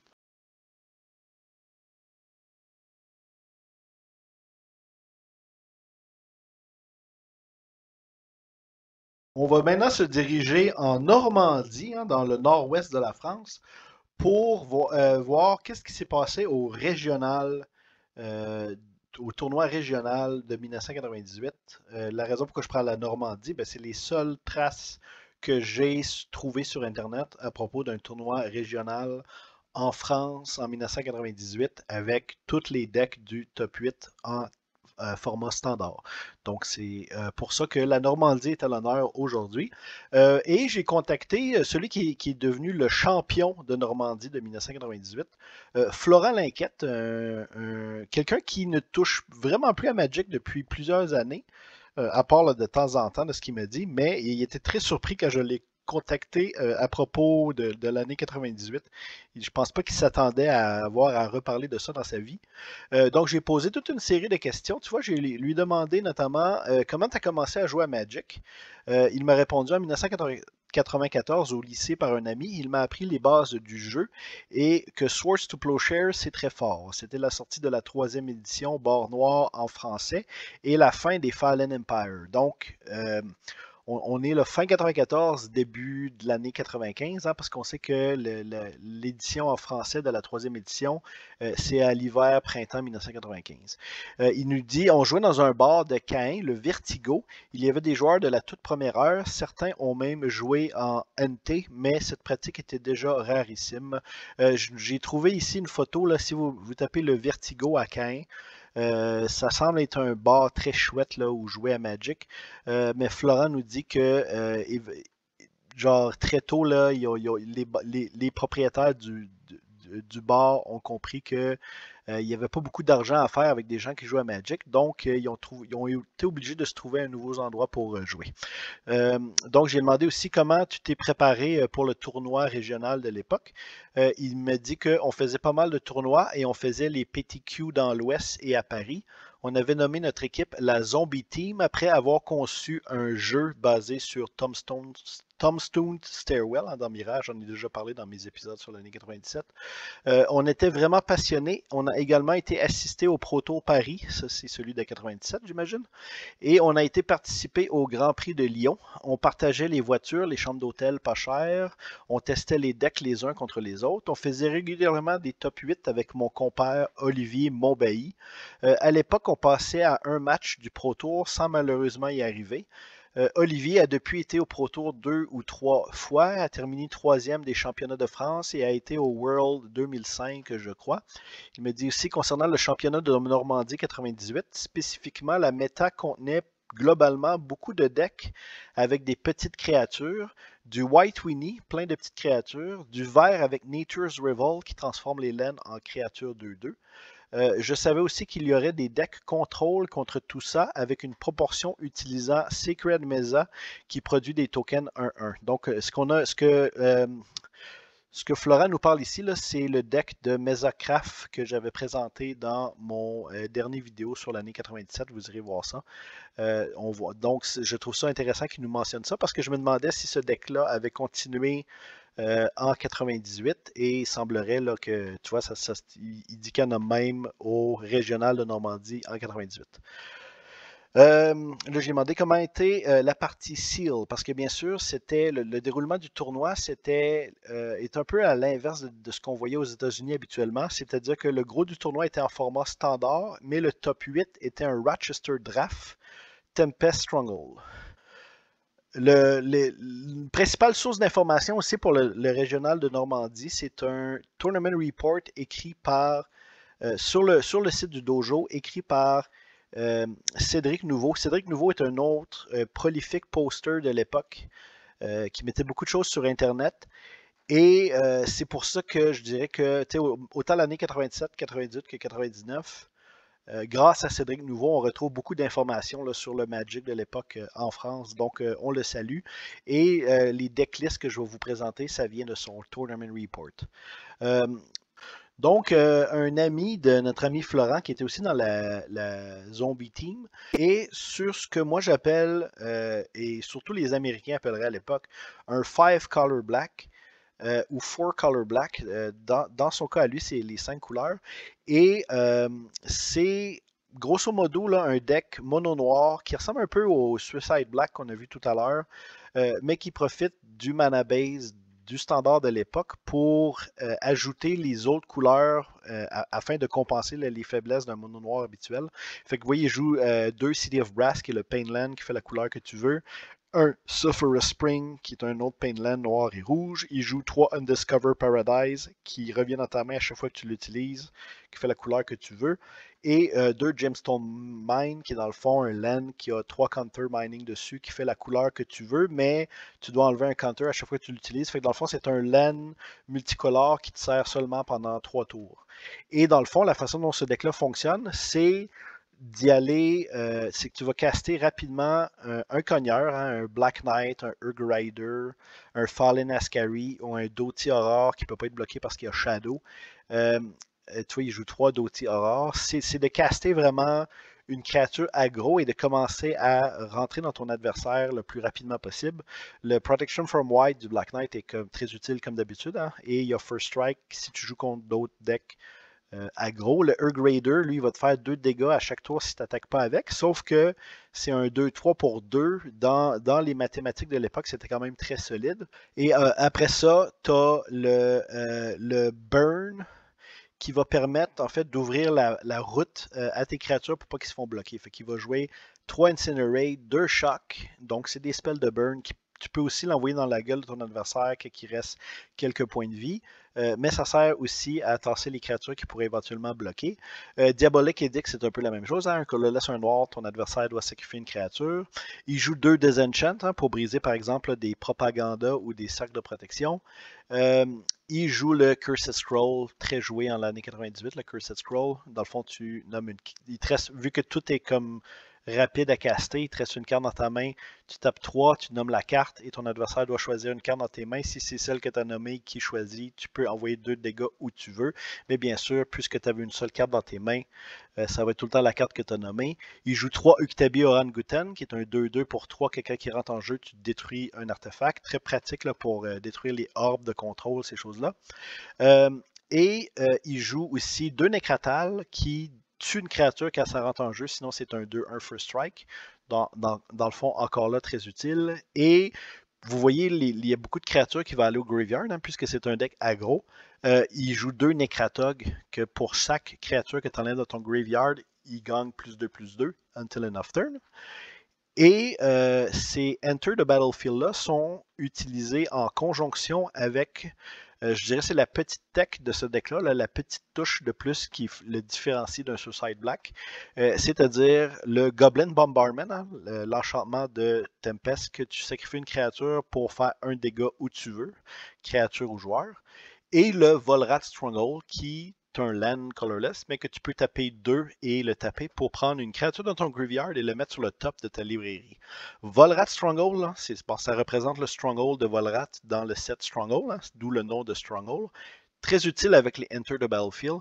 Par exemple, le Necratal, tu rentres en jeu, tu tues une créature, tu sacrifies avec ton Goblin Bombardment pour faire un dégât et le tour d'après, tu le repiges grâce à ton Volrat Stronghold pour le recaster et détruire une autre créature. Tu peux faire la même chose aussi, les Bottle Gnome. Hein. Tu le sacrifies pour gagner 3 de vie, ça s'en va dans ton graveyard tu le ramènes avec un Volrat Stronghold et tu peux le ramener pour avoir un bon bloqueur. Un 3 Bottle Gnome était très joué en l'année 98. Ton Air Grider qui te ferait 2 dégâts s'il est bloqué parce qu'il ne peut pas attaquer, ben, tu le sacrifies avec ton Goblin Bombardment et tu peux éventuellement le ramener plus tard euh, si tu as besoin de créatures pour augmenter ta présence. Même chose là, Uktabi Orangutan, il rentre en jeu, détruit un artefact, là, il sort un autre ton adversaire sort un autre artefact, bien, tu sacrifies ton Orangutan avec le Goblin Barbarman et tu le ramènes avec le Volrat Stronghold. Vous voyez, le genre, c'est très synergique comme deck. Je trouve ça vraiment euh, original et cool. Et euh, son sideboard, hein, on voit qu'il il joue deux cercles de protection rouge contre les decks Cursed Slide qui étaient très présents à l'époque. Et les deux Mind Bend bleus permet en fait de changer le nom euh, d'une couleur sur un spell. Dans le fond, tu peux changer, par exemple, protection contre le blanc de ton Black Knight pour une protection contre le rouge, ou faire en sorte que ton Circle of Protection Red devient un Circle of Protection Green, par exemple. Euh, Perish, ça c'est contre les decks euh, verts. Dread of Night contre les White Winnie, hein, moins moins à toutes les créatures blanches. Il joue 3 Pyroblasts pour, euh, contre les decks de contrôle bleu. Et aussi contre les decks de contrôle bleu, il joue 2 Scragnot, qui est un 3-4 protection contre le bleu et qui ne peut pas être counteré. On va maintenant aller voir Frank Dubus. Frank Dubus, c'est le champion de Normandie de l'année 1997 et semi-finaliste en 98. Il joue un splendide deck de prison, ce que les Américains appelaient un propa orbe, euh, et je vais vous expliquer, là, c'est vraiment simple la façon dont ce deck-là fonctionne, mais c'est un deck très chiant pour ton adversaire. Donc, dans le fond, qu'est-ce que tu fais, c'est que tu veux ramper euh, rapidement au début, fait que tu vas jouer par exemple un land, et euh, si tu es chanceux, pouvoir sortir un Mox Diamond au tour 1. Mox Diamond, il coûte 0. tu, pour le jouer, tu dois discarter un land de ta main et tu le mets en jeu. Ça te, fait, ça te fait la même chose qu'un Mox, mais de la couleur que tu veux. le Mox Diamond. Donc, ça te permet au tour 1 là, de pouvoir caster un de tes spells qui coûte 2, c'est-à-dire soit un, Sky Diamond ou un des trois Marble Diamond qui sont des mana rock qui rentrent en jeu tapé. Marble Diamond te fait du mana blanc, Sky Diamond te fait du mana bleu. Donc, à partir du tour 2, là, si tu rejoues un autre land, tu es capable d'avoir 3 de mana euh, ou, de, 4 mana même, parce que la plupart de tes spells, là, tu vois, ils coûtent 4 euh, ou 3. Fait ce que tu veux le plus rapidement possible, c'est mettre, par exemple, un propaganda. Donc, propaganda, enchantement bleu, qui fait que pour qu'une créature attaque, son contrôleur doit payer 2 colorless. Fait que s'il veut attaquer avec deux créatures, il doit payer 4 colorless. Fait que ça, ça ralentit les decks aggro comme les decks Curse Slight ou les White Winnie ou les decks noirs comme on a vu tout à l'heure. Euh, ou il peut mettre aussi un Winter Orb. Winter Orb, deux colorless. Tu peux, tous les joueurs peuvent seulement en taper un land par tour, mais toi, tu as des Mox et des Diamonds. Fait que, tu sais, c'est pas trop un problème. Euh, Mine, il va vouloir aussi mettre un Howling Mine qui fait que tous les joueurs pigent un land de plus à leur draw step. Euh, toi, tu vas tu t'en fous de ça parce que ce deck-là, il contrôle les créatures. Fait que après ça, ton seul problème, ça va être si c'est un deck de combo. Euh, il joue 3 Disenchants s'il si, si, doit détruire des enchantements de l'autre. Euh, il joue aussi euh, ça, ça, ça dans les spells qui coûtent 4. Donc, on imagine, là, si tu es chanceux, tour 2, là, parce que tu as pogné des Mox Diamond, là, mais généralement, c'est tour 3 que tu vas caster tes spells qui coûtent 4. Euh, Pedral Mist, un enchantement qui coûte 3 colorless, un bleu et qui fait en sorte que les, créatures ont maintenant un, doivent maintenant payer, leur contrôleur doit maintenant payer un colorless à l'upkeep, sinon il doit sacrifier la créature. C'est le même effet que le land du tabarnak euh, dans le set légende, euh, sauf que là c'est sous forme d'enchantement. Euh, donc ça, ça fait en sorte que les créatures, s'ils veulent les garder en, jeu, ils doivent payer un colorless, sinon ils les sacrifient. Wrath of God, deux colorless, deux blancs, tu, détruis toutes les créatures, elles ne peuvent pas régénérer. Très important. Et il va même faire en sorte que, comme si les Winter Orb n'étaient pas assez, hein, on dit c'est un deck prison, il va faire un Armageddon qui détruit tous les lands. Généralement, il va jouer ça s'il a assez euh, sorti de Diamond et de euh, Max Diamond ou Sky Diamond ou Marble Diamond.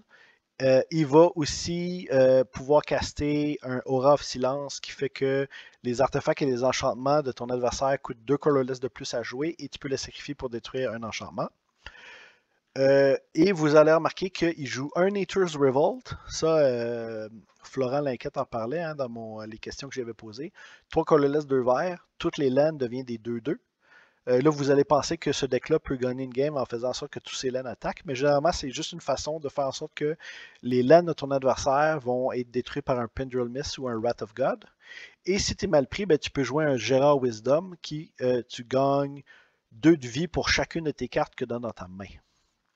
Euh, tu as bien sûr aussi les Quicksand hein, que tu peux sacrifier pour donner moins 1, moins 2 à une créature. Euh, très utile pour ralentir ton adversaire. Euh, mais c'est un deck, dans le fond, lui, ce deck-là ne peut pas se mêler parce qu'il joue deux Felden Kane. Donc facilement, le Felden Kane, tu actives ton Felden Kane, il coûte juste 1. Tu la tapes, tu prends ton Graveyard et tu la mélanges dans ta librairie. et dans le sideboard, vous voyez, il joue contre les decks, dans des duels contre des decks de contrôle, en 4 Pyroblasts, euh, contre des decks rouges, 4 chill, qui fait que les spells rouges coûtent 2 colorless de plus à jouer. 3 euh, Mana Leak, un counter spell que, euh, que j'ai parlé tout à l'heure. Un Desenchant, 2 Emerald Charm pour détruire des enchantements et un autre Aura of Silence. Donc, ça, c'est les fameux decks de Propa Orb. Il y en a beaucoup pendant l'année 98 et ça me fait plaisir de vous présenter celui-ci qui s'est qualifié dans le top 8 du euh, régional de Normandie. On va maintenant aller voir le deck de Nicolas Melio et Florent Lefranc de la team Abyss. C'est un deck euh, qu'ils euh, affirment avoir conçu eux-mêmes, même si j'ai trouvé des variantes sur Internet. je pense que c'était une idée qui circulait pas mal à l'époque. C'est un deck vert et blanc qui tourne autour de deux innovations qui viennent de Stronghold, le Spike Feeder et le Ensnaring Bridge. J'en parle dans quelques instants Ce deck-là, c'est un deck prison. Et qu'est-ce que tu veux faire?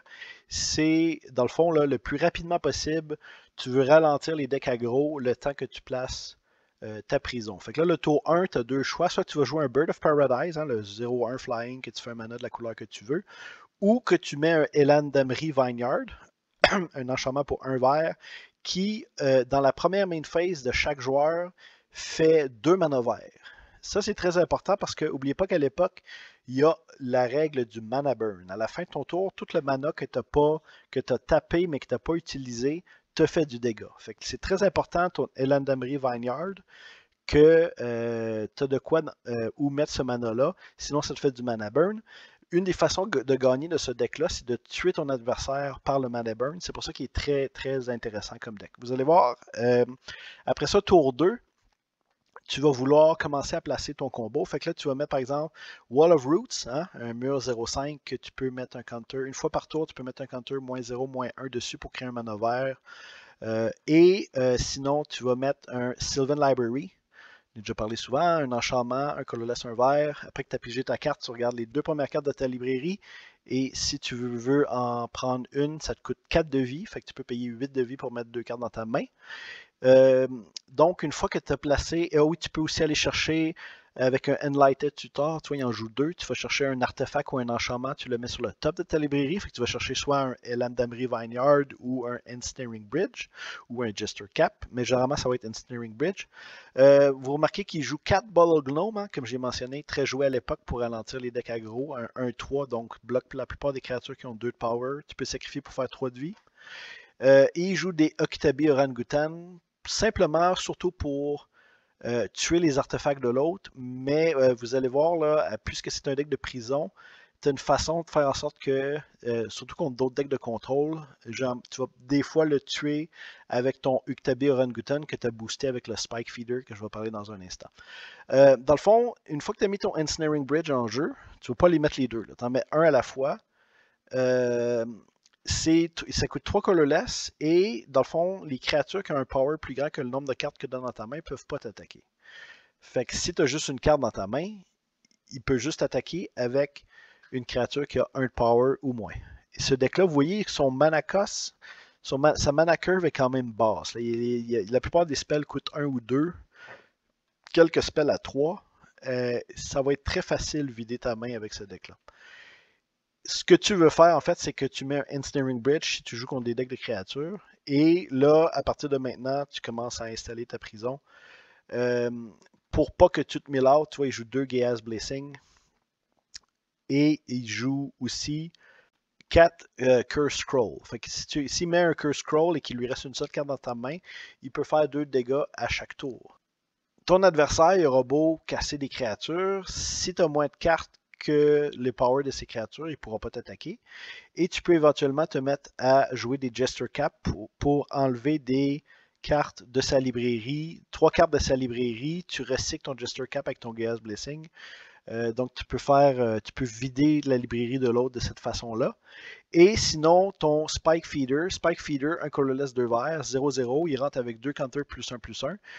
Et si tu n'as rien à faire avec ton mana de Elandary Vineyard, hein, qui produit deux mana verts à chaque tour, ben, tu le mets dans ton Spike Feeder pour enlever un plus un plus un counter du Spike Feeder et le mettre sur une autre créature. Par exemple, ton Bird of Paradise qui vole, ou ton Uktabi Orangutan, ou un Bottle Gnome, mais généralement le Bird of Paradise ou Uktabi Orangutan, ou un autre Spike Feeder. Si tu es capable d'avoir deux Spike Feeder en, jeu, ça va être le fun parce qu'après ça, tu peux enlever un plus un plus un counter pour gagner deux de vie et, tu peux comme t'amuser à gagner beaucoup de vie de cette façon-là ou remplir à chaque tour, grossir de plus en plus euh, ta créature. Dans son sideboard, tu vois, il était venu préparer trois cercles de protection contre le noir, trois cercles de deux cercles de protection contre le rouge, un autre orangutan, deux desenchant, quatre scragmots contre les decks de contrôle bleu et trois curse totem, deux colorless que ton adversaire peut pas jouer des créatures qui ont un abilities. Donc, les, habilités des créatures, par exemple un Prodigal Sorcerer, des choses comme ça, euh, ils ne peuvent pas les activer. On peut voir dans ce deck-là, dans le fond, un peu l'ancêtre des fameux euh, lanternes de contrôle qu'on a de nos jours. Euh, ce qui est le fun, c'est qu'un de ces win conditions, c'est que ton adversaire s'il ne sait pas quoi faire avec le mana que Elandamri Vineyard crée à chaque tour, euh, par exemple, s'il joue un deck mono rouge, ça ne sert à rien d'avoir deux mana verts à chaque tour. Ben, tu peux le tuer avec du mana burn, ce qui est quand même drôle quand tu y penses. Donc, euh, Floral il joue. On va, aller voir son deck, celui qui a gagné le championnat. Il joue un deck qui était quand même connu depuis la sortie de Tempest. C'est les fameux decks du combo Orim Prayer Humility. Donc, on se rappelle, j'en avais parlé de ce deck-là euh, pour l'année 97. Ça tourne autour de principalement ces deux cartes-là. Donc, Humilité, deux colorless, deux blancs. Toutes les créatures perdent toutes leurs habilités et ont un 1, euh, un power, un toughness. C'est un enchantement. Et Orim Prayer, il en joue 4 copies. Toutes les créatures qui t'attaquent te fait gagner 1 de vie. Fait que dans le fond, une créature 1-1, elle ne peut plus te faire de dégâts si tu as Orim Prayer et Humility en jeu. Euh, le reste du deck, c'est un deck traditionnel contrôle bleu-blanc, hein, un peu comme une variante de, du deck de Brian Wiseman. On voit, il joue 4 Adarkar Waste, euh, qui est un Painland blanc et bleu. Un Reflecting Pool qui fait le mana de la couleur que l'autre joue. Généralement, il y a beaucoup de decks blancs et bleus comme on a vu. Beaucoup de decks blancs ou de decks bleus comme on a vu, donc c'est pas un problème. Floodplain, qui est un fetchland qui permet d'aller chercher euh, soit une plaine, soit un island. Hein, c'est l'ancêtre de Flooded Strain. Et le reste, là, c'est du bon un bon vieux deck de contrôle Counterspell. Tu vois, il joue 4 Counterspell, 2 Disenchant, 4 Dissipate, qui est un Counterspell qui remove from the game le spell que tu as counteré, 3 Mana League de Stronghold, 4 Impulse pour préparer tes cartes que tu vas jouer, 3 Aura de Silence que j'ai parlé tout à l'heure, 4 Wrath of God pour enlever toutes les créatures, 3 Gérard Wisdom pour gagner beaucoup de vie, Scroll Rack est très important dans ce deck-là. Probablement, euh, Flora mentionne que c'était une, des cartes principales de son deck. Scroll Rack vient de Tempest, deux colorless. Euh, tu prends ta main, le nombre de cartes que tu veux dans ta main, tu les exiles et euh, après ça, tu, pour chacune des cartes que tu as exilées comme ça, tu repiges le même nombre de cartes et les cartes que tu as exilées, tu les remets ensuite sur le top de ta librairie. Donc, ça te permet de faire comme une espèce de scry continuel euh, pour mieux te préparer euh, à affronter euh, ce qui s'en vient, tout dépendamment de quelle, quelle, menace tu as selon tel tour. Et pour aller piger des cartes, ben, il va jouer le Whisper of the Muse, une autre carte très jouée de l'année 98. Un bleu, pige une carte, buyback 5 tu la remets dans ta main et tu peux la rejouer ensuite. Dans le fond, si tu n'as pas fait de counterspell ce tour-ci, tu vas faire un Whisper de Muse pour piger une autre carte. Euh, ça s'accumule très rapidement. Et son seul win condition, c'est fameuse carte, je pense que c'est la seule fois que je l'ai vu dans du compétitif, le fameux Tom's Crew.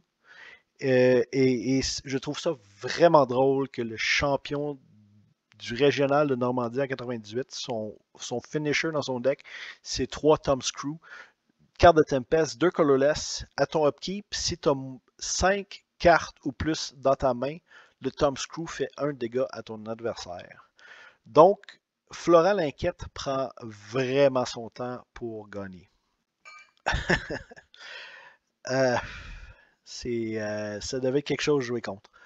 Euh, vous voyez son sideboard, hein? 4 euh, chill contre les decks rouges, deux protections contre le de protection contre le rouge, un autre Mana Leak, un autre Disenchant. Trois Disrupting Scepter, ça fait longtemps qu'on l'a pas vu lui, hein? une carte très jouée en 95, trois colorless, un artefact que tu peux payer 3, le taper pour forcer ton adversaire à discarter une carte. Euh, fait que là, tu vu que ces créatures servent à rien que Rim Prayer puis Humility, ben tu peux t'amuser euh, longtemps avec le Disrupting Scepter. Tu y vides sa main. Euh, un autre Tom Screw hein, pour et bien sûr d'en avoir les quatre un Feldon Gain si tu joues contre d'autres decks de prison et euh, un autre Gérard Wisdom, un autre Aura Silence. Donc, vous voyez le genre. Euh, Flora mentionne que ce deck-là n'est pas le plus fort qu'il y avait. Euh, selon lui, là, il n'a pas joué contre Nicolas Melio et son deck de Hélène Derry Vineyard. Il, dit que probablement que si probablement que le deck d'Ensnaring Bridge le bat, notamment à cause des, des mana burn, mais euh, néanmoins, là, c'est quand même un deck que je trouve très intéressant. Ça donne aussi un très bon exemple des decks qu'on appelait Humility or Rim Prayer de l'époque, qui était quand même assez répandu. Euh, dans le fond, le top 8 va se jouer en draft de Stronghold Tempest. Et en finale, ça va être Florent contre euh, Nicolas Melio qui vont terminer le tournoi. Le 30 juin 1998, à Angoulême, en France, a eu lieu le tournoi national de France. Dans le fond, toute la culmination de ces régionales-là euh, amenait à ce tournoi-là euh, qui allait déterminer qui étaient les quatre meilleurs qui allaient représenter la France au World Championship au mois d'août aux États-Unis. Euh, j'ai ici un rapport écrit par Manuel Bévan, qui était pas mal le français qui publiait le plus sur le dojo à l'époque. Euh, Manuel Bévan, c'est un, gros joueur français. C'est avec euh, les euh, Marc Hernandez et Raphaël Lévy. C'est un, des gros joueurs de, Magic des années 90. il mentionne que, bon, ce qu'il faut comprendre, c'est que les nationaux français, qui ont eu lieu le 27-28 juin 1998, il n'y avait pas encore accès à Exodus, qui était sorti au début du mois. Euh, ça faisait pas encore assez de temps pour que Exodus soit légal en standard. Donc, c'était une méta qui est la même, sensiblement la même que ce qu'on a vu dans le reste du vidéo. Alors que les nationaux des États-Unis, par exemple, qui ont lieu la semaine suivante, euh, ça, ce sera un tournoi avec Exodus. Donc, on a ici un tournoi qui est un peu avec une méta qui a été pas mal résolue. Hein. Euh, c'est pas mal, tous les decks ont été essayés. Euh, il, mentionne notamment que c'était, dans le fond, euh, le samedi, c'était du draft Tempest, Tempest, Stronghold, 6 rounds. Et ensuite, la deuxième journée, c'était un tournoi suisse de format standard. Je ne vais pas trop m'attarder à la partie euh, draft, parce qu'on a vu ça notamment euh, avec le, Pro, le Pro Tour New York. Euh, on va sauter tout de suite. Là, on a les decklists du top 4. on a notamment Pierre Malherbeau qui était sur le Cursed Slide. Je veux beaucoup m'attarder à lui parce que, comme j'ai mentionné, les decks mono rouge étaient dans, les decks les plus communs à l'époque. Euh, donc là, on est encore ici dans du déjà vu. Le Cursed Slide, ça n'a pas beaucoup changé. Euh, on, voit là, le, le but du deck, c'est de se rendre jusqu'à 20 euh, le plus rapidement possible, hein, jusqu'à 20, points de vie, de descendre l'autre à zéro le plus rapidement possible, en, ayant des créatures qui coûtent 1 ou 2, ou dans des très rares cas comme le Ball Lightning 3. Euh, donc, on suit la curve. Fait que, tu sais, Jackal Pop, un 2-1 pour un rouge. Mog Fanatic, un 1-1 pour un rouge que tu peux sacrifier pour faire un dégât où tu veux. Donc, ça permet d'enlever des, des, bloqueurs souvent. Canyon Wildcat, un colorless, un rouge pour un 2-1 qui a Mountain Walk. Fait que contre d'autres decks rouges, ils ne pourront pas le bloquer. Euh, Mock Conscript, un 2-2 pour euh, un rouge, sauf qu'il peut euh, seulement attaquer si tu as casté une créature ce tour-ci, mais vu que tu casses des créatures à chaque tour, ben, c'est pas un problème. Le Mog Flunky, c'est la même chose, un 3-3 pour 2. 3-3 pour 2, c'est quand même. c'est gros. Là. le problème, c'est qu'il peut juste attaquer ou bloquer si il y a d'autres créatures qui attaquent avec. Mais de toute façon, tu bloques jamais et tu attaques à chaque tour. Fait que ça va ensemble. tu sors ton Jackal Pop tour 1, tour 2, Mug Flunky. Au tour 3, tu vas sortir un Ball Lightning en Haste, Trample. Et il va attaquer avec ton Mug Flunky et ton Jackal Pop. Euh, tu as du Burn, hein? Shock, 4 Shock qui fait 2 dégâts. Incinerate, 4 fois aussi. Euh, tu as, euh, vu que tu vides ta main rapidement, Scalding Tongue, un 2 colorless, un artefact, à ton upkeep. Si tu as 3 cartes ou moins dans ta main, ça fait un dégât à ton adversaire. Vous voyez, là, à chaque tour, tu es en train de faire du dégât. Et quand tu stalls, ben, euh, tu as le Cursed Scroll pour un colorless l'artefact que tu nommes une carte, ton adversaire doit choisir une carte dans ta main et si c'est la carte que tu as nommée, ça fait deux dégâts euh, dans sa face ou sur une de ses créatures. Mais vu que tu vides rapidement ta main avec un deck aussi rapide, euh, généralement il va juste te rester une carte dans la main et ça va lui faire deux de dégâts. Et bien sûr, le finisher, c'est le Fire Blast. Euh, Fire Blast, 4 colorless, 2 rouges, un instant, mais jamais tu vas payer ce casting cost-là parce que tu peux le caster gratuit en sacrifiant deux montagnes.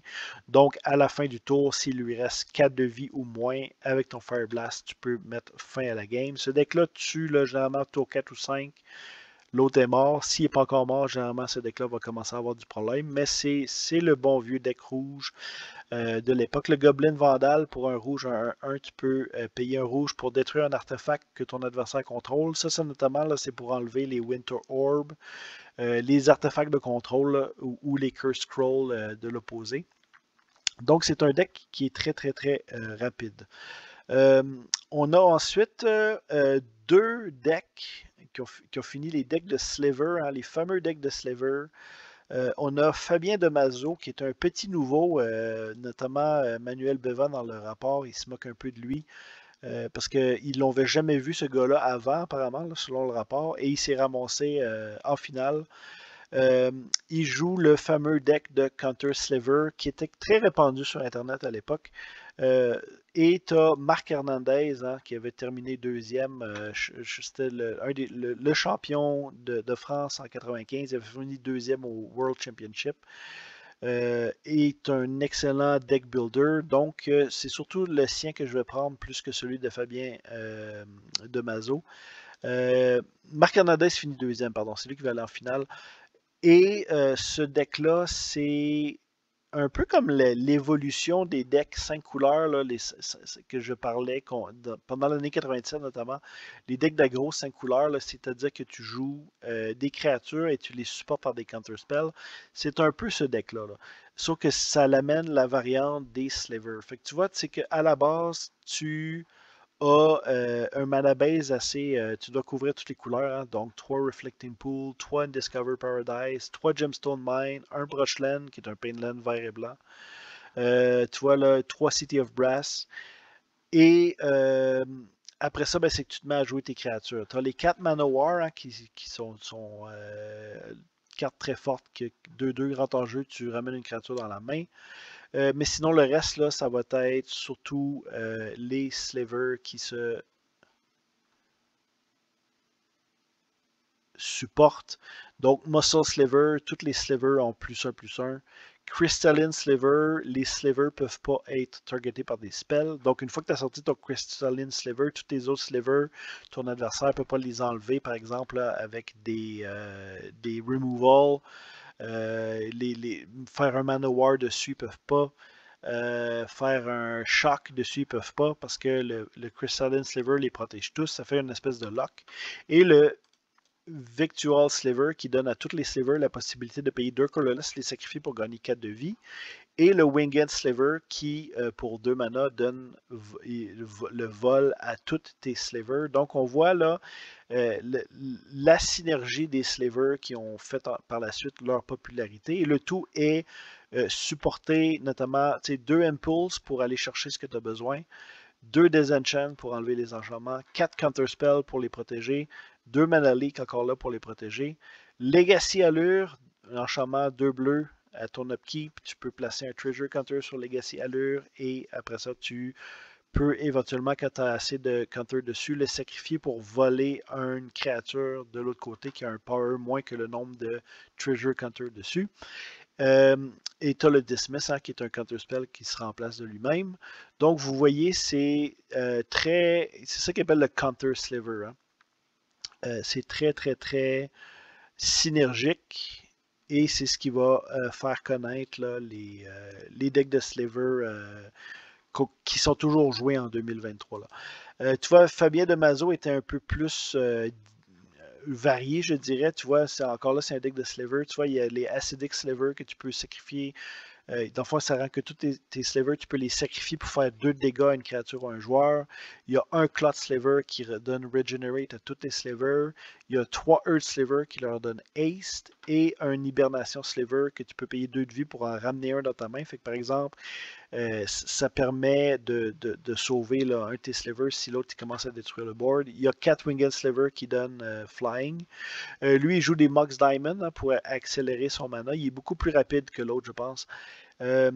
et sinon, tu vois, il y a un Disenchant, deux Living Death pour ramener les slivers du graveyard vers le board. ça, cette variante-là, avec Living Death, que j'avais parlé tout à l'heure dans le deck d'Alan Comer, euh, a été immortalisé dans le Duelist numéro 27. C'est l'article Sliving Death qui parle beaucoup de la variante Sliver avec des euh, Living Death. Et euh, Manuel Bévan lui-même, hein, avec son mono bleu, ce qu'on appelait à l'époque le Disco Gnome. Aux États-Unis, il l'appelait aussi le Drago, hein, parce que c'est que tu dis à ton tour, tu, dis, tu piches ta carte, tu passes le tour, ça va à l'autre et tu vas counterer euh, ce qui va sortir. Euh, c'est une évolution du fameux euh, Bouncy Blue que je vais parler dans mon dernier vidéo de l'année 97. Euh, donc, c'est la culmination de ce deck-là, mais avec les ajouts de Stronghold. Dans le fond, là, tu joues jamais à ton tour. Presque, là. C'est un deck de Counterspell. Tu vois, il y a 4 Impulse, 4 Whisper of the Muse pour piger les cartes. Sinon, il y a 4 Counterspell, 2 Mana Leak, 2 Power Sync, qui est une autre forme de Counterspell. les Legacy Allure que j'ai parlé tout à l'heure. 2 Memory Lapse, qui est un Counterspell qui envoie la carte sur le dessus de la librairie. 2 Dismiss, 4 Dissipate, que tu counter un spell, tu removes la carte à la fin du tour, euh, du graveyard. Euh, il joue aussi pour Wipe Board 4 Neviral Disc. Il y a très peu de permanents. Hein. Vous allez voir le Steel Golem ici, là, je vais en parler tout à l'heure, mais il y a très peu de permanents. Euh, c'est surtout de sortir éventuellement un disque et d'empêcher l'autre de caster ses choses. Tu peux y voler ses créatures avec un Legacy Allure, ça c'est surtout contre les decks aggro. Euh, sinon, tu vois, il y a un Ophidian qui, s'y attaque et n'est pas bloqué, il peut permettre de piger une carte et un Sukata Firewalker. Ça, c'est très utile contre les decks rouges parce que euh, tu peux le taper pour faire un dégât et il est protégé contre les instants rouges. Les Quicksand aussi permettent de tuer des créatures qui attaquent. Tu sacrifies, puis ça fait moins 2 au toughness. Euh, et euh, finalement, ben, pour terminer la game, hein, c'est surtout la façon dont ça va fonctionner. C'est qu'éventuellement, tu as, amassé assez de mana. Euh, que si l'autre il caste rien, parce qu'il sait que tu as un counter spell, ben, à la fin de son tour, tu peux faire euh, rapidement un Whisper of the Muse, tu vas payer 6, tu vas piger une carte, tu gardes ton Whisper of the Muse dans ta main pour le tour d'après. Et éventuellement, une fois que tu as empêché l'autre de jouer n'importe quoi, s'il avait mis de quoi à terre, ben, tu détruis avec ton Numeral Disc. Éventuellement, tu vas sortir ton Steel Golem, un 3-4 pour 3, mais qui t'empêche de jouer des summons ou des artefacts créatures, mais on s'en fout, il n'y en a pas d'autres. Euh, fait que ton style golem, généralement, c'est avec ça que tu vas terminer euh, la partie où tu joues des Stalking Stone, qui est un, euh, le mainland de, de Tempest. C'est un land colorless, mais que tu peux payer 6 pour le transformer en 3-3 de façon permanente. son sideboard, 2 Ice Flow, qui est un, un, un, un genre de Mesovite moins fort qui empêche les créatures non flying une créature non flying d'attaquer. Euh, deux disrupt, ça c'est un, l'ancêtre de Spell Pierce, hein. c'est pour un bleu tu counter un interrupt. Fait que si tu es dans une guerre de counter spell contre un autre deck de contrôle, euh, c'est là que ça, entre en jeu. 4 Hydroblast contre les decks rouges. 2 euh, Vision Charm qui permet de donner phasing à un artefact, par exemple pour protéger tes Niveral Disc. 2 Rainbow Ifrit qui euh, a un 3-1 flying qui a euh, phasing. On voit ici les Bottle Gnome euh, pour gagner de la vie. donc, la raison pourquoi ça s'appelait le Disco Gnome, c'est que généralement les autres decks jouaient les Bottle Gnome main deck avec le, le Niveral Disc. dans ce cas-ci, il a préféré le mettre dans son sideboard.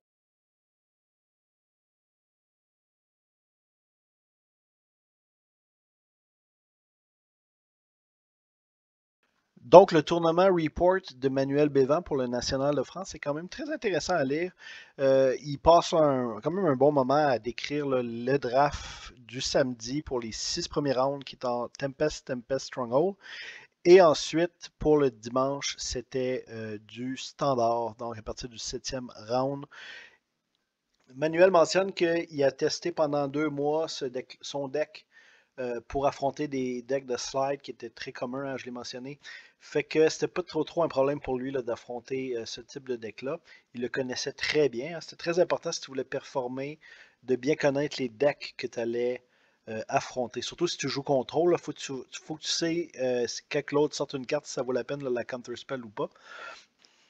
Il est très généreux sur ses commentaires. Le match final est décrit presque 4 par 4.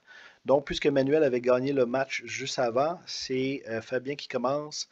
Fait qu'il mentionne que avec un Mox Diamond et un Len, il va placer un Muscle Sliver tour 1. Et ensuite, Manuel va répondre par un euh, Legacy Allure qui va euh, placer à son deuxième tour. Mais Fabien va répondre tout de suite avec euh, son Disenchant. Il y en avait aussi dans le sideboard. Donc Manuel va caster un deuxième Legacy Allure pour essayer d'aller chercher les slivers de l'autre, mais que ça va être répondu par un Pyroblast, euh, que lui-même va mana leaker Ensuite, il va placer un Niveral 10 qui rentre en jeu tapé, mais Fabien euh, avait un autre Disenchant de disponible pour le détruire. Manuel va répondre avec un Vision Charm pour le phaser out, mais Fabien garde dans sa main un Mana Leak. Fait qu'il réussit comme ça à détruire le disque. Manuel Bévan va ensuite sortir un Quicksand dans le but éventuellement de pouvoir euh, détruire le. on, se rappelle, il y a juste un Muscle Sliver en jeu à date. Mais euh, Fabien va jouer à, ce moment-là à son tour un de ses Wastelands pour détruire le Quicksand. Là, il mentionne que la foule était en délire à ce moment-là. Manuel Beva va réussir à sortir un troisième Legacy à l'heure pour aller voler le Sliver. Mais euh, ce Sliver-là va se faire incinerate. Il mentionne après ça que Fabien va réussir à top decker tour à tour trois slivers. Il va réussir à, euh, Manuel va réussir à en counterer un Victual Sliver et un Victual Sliver et un euh, Crystalline Sliver. Mais l'autre va quand même sortir un Earth Sliver qui donne Haste. Et ça va être réussi à le caster et ça va être pas mal la fin. Emmanuel mentionne que même en sortant un Quicksand pour se débarrasser du Earth Sliver, ça va pas fonctionner parce que l'autre chanceux va caster euh, un deuxième Wasteland pour le détruire. Et avec son Earth Sliver en jeu, euh, Fabien Demazo va battre Manuel Bévan et ainsi devenir le champion national de France de l'année 1998.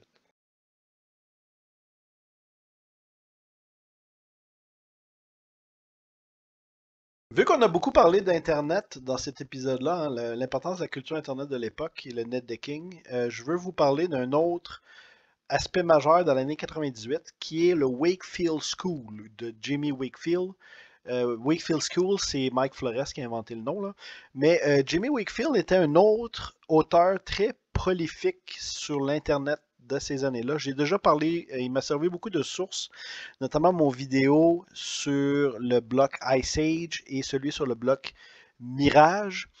Jimmy Wakefield, éventuellement, dans les années 2000, il va se mettre à. Il y avait tellement écrit de stock sur Internet qu'il s'est mis à tout packager ça et il s'est mis à vendre des livres que vous pouvez pogner sur Amazon et que je recommande beaucoup.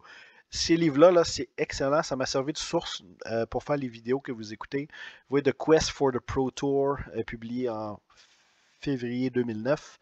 Jimmy Wakefield était vraiment simple. La plupart de ses decks, à partir de 97, étaient toujours monocouleurs donc, une seule couleur. Pour achever son adversaire, c'était des gros monstres, hein, ce qu'il appelait des fatties. Donc, 5 de power, 5 de toughness ou plus. Et toujours 62 cartes et 26 lands. La première fois qu'on avait vu Jimmy Wakefield, c'était mon épisode sur euh, Ice Age. Euh, son, Wakefield School n'était pas encore euh, au point, si bien qu'il y avait deux couleurs, blanc, et rouge, mais c'était des gros monstres. Hein? Belduvian Horde, Goblin Mutant, 5 de power des Jocolop, voyez, c'est des gros spells. La, mana curve est très haute. Il joue 26 land. Tu avais la même chose là, pour le bloc Mirage. Une seule couleur, des Mist Dragon, Water Spout Jean, des euh, Fog Elemental, 26 land. Et euh, en 98, va faire connaître ce qui va rester pendant longtemps un, deck euh, qui, qui ça va devenir vraiment le deck identifié à Jimmy Wakefield. C'est le fameux Secret Force euh, qui va utiliser dans des, euh, des, régionales de l'époque et des tournois. dans le fond, ce deck-là va se faire beaucoup connaître sur Internet. C'est un deck mono vert, donc 26 lands, notamment 4 Wasteland, des forêts, Quicksand pour bloquer les decks aggro. Et le but de ce deck-là est vraiment simple, c'est de ramper le plus rapidement possible. Fait que tour 1, là, il va caster un Llanowar Elf que tu peux taper pour faire un mana vert ou un Kyrion Ranger. Le Kyrion Ranger est vraiment pratique parce qu'après ça, tu peux untaper une créature, par exemple Llanowar Elf, tu ramènes un land dans ta main. fait que ça te permet de tout le temps faire un land drop. Dans le fond, tu tapes ta forêt, tu la ramènes dans ta main, tu la remets, tu la tapes il y a untapé ton Llanowar Elf. Des fois, là, à partir du tour 3, euh, ça permet de faire 4-5 euh, mana facilement. Euh, vous voyez, il joue. Le, but, c'est de sortir le plus rapidement possible un Natural Order, qui va être capable généralement le sortir au tour 3. Natural Order vient de Vision, deux colorless, deux verts, c'est un sorcery. Tu sacrifies une créature verte, par exemple ton Llanowar Elf ou ton Kyrian Ranger. Tu charges dans ta librairie pour une créature verte euh, et tu la mets en jeu. Paf! Fait que ce que tu vas aller chercher, c'est pour ça que le deck, ça s'appelait Secret Force. Tu vas aller chercher le Verdant Force que j'avais parlé tout à l'heure dans le deck de Godzilla, le 7-7 qui crée des tokens.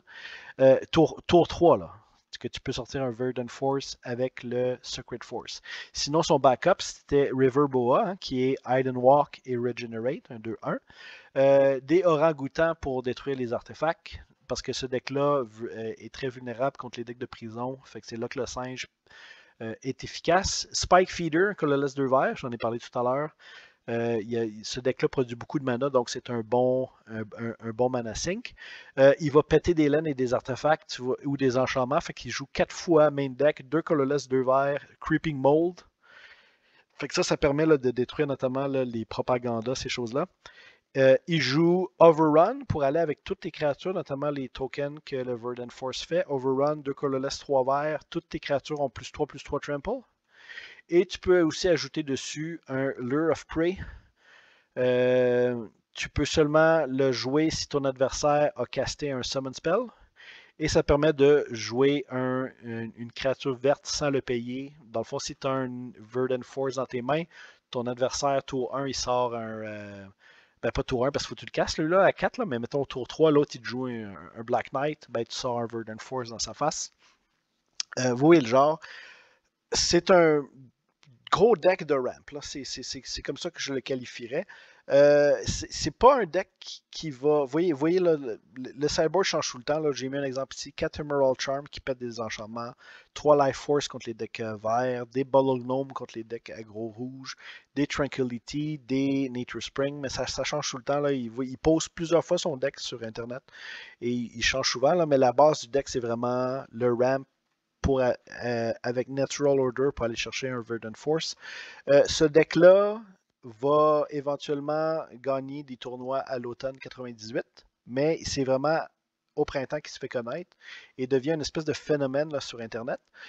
Euh, et éventuellement, Jimmy Wakefield va se mettre à juste, ça va tellement être identifié à lui de jouer 26 lanes mono vert que même après là, que ces cartes-là ont rotted out des formats que lui joue, il va continuer à jouer un deck qu'il va appeler Secret Force, puis qui est une variante de la même affaire, c'est-à-dire de ramper le plus rapidement possible des gros monstres. Jimmy Wakefield, après ça, il va être engagé euh, à la fin des années 2000, début 2010, par Star City Game et écrit beaucoup d'articles euh, où ce qui participe dans les tournois avec des decks verts euh, artefacts de l'époque. Mais c'est tout à la même gimmick. Vous voyez ici le Prime Ball Titan. 26 laines, monocouleur. Euh, il y en a plein. là. Euh, c'est un auteur très prolifique. C'est pour ça que je voulais en parler. C'est surtout au début de l'année 98 qui se fait euh, connaître avec son Circuit Force.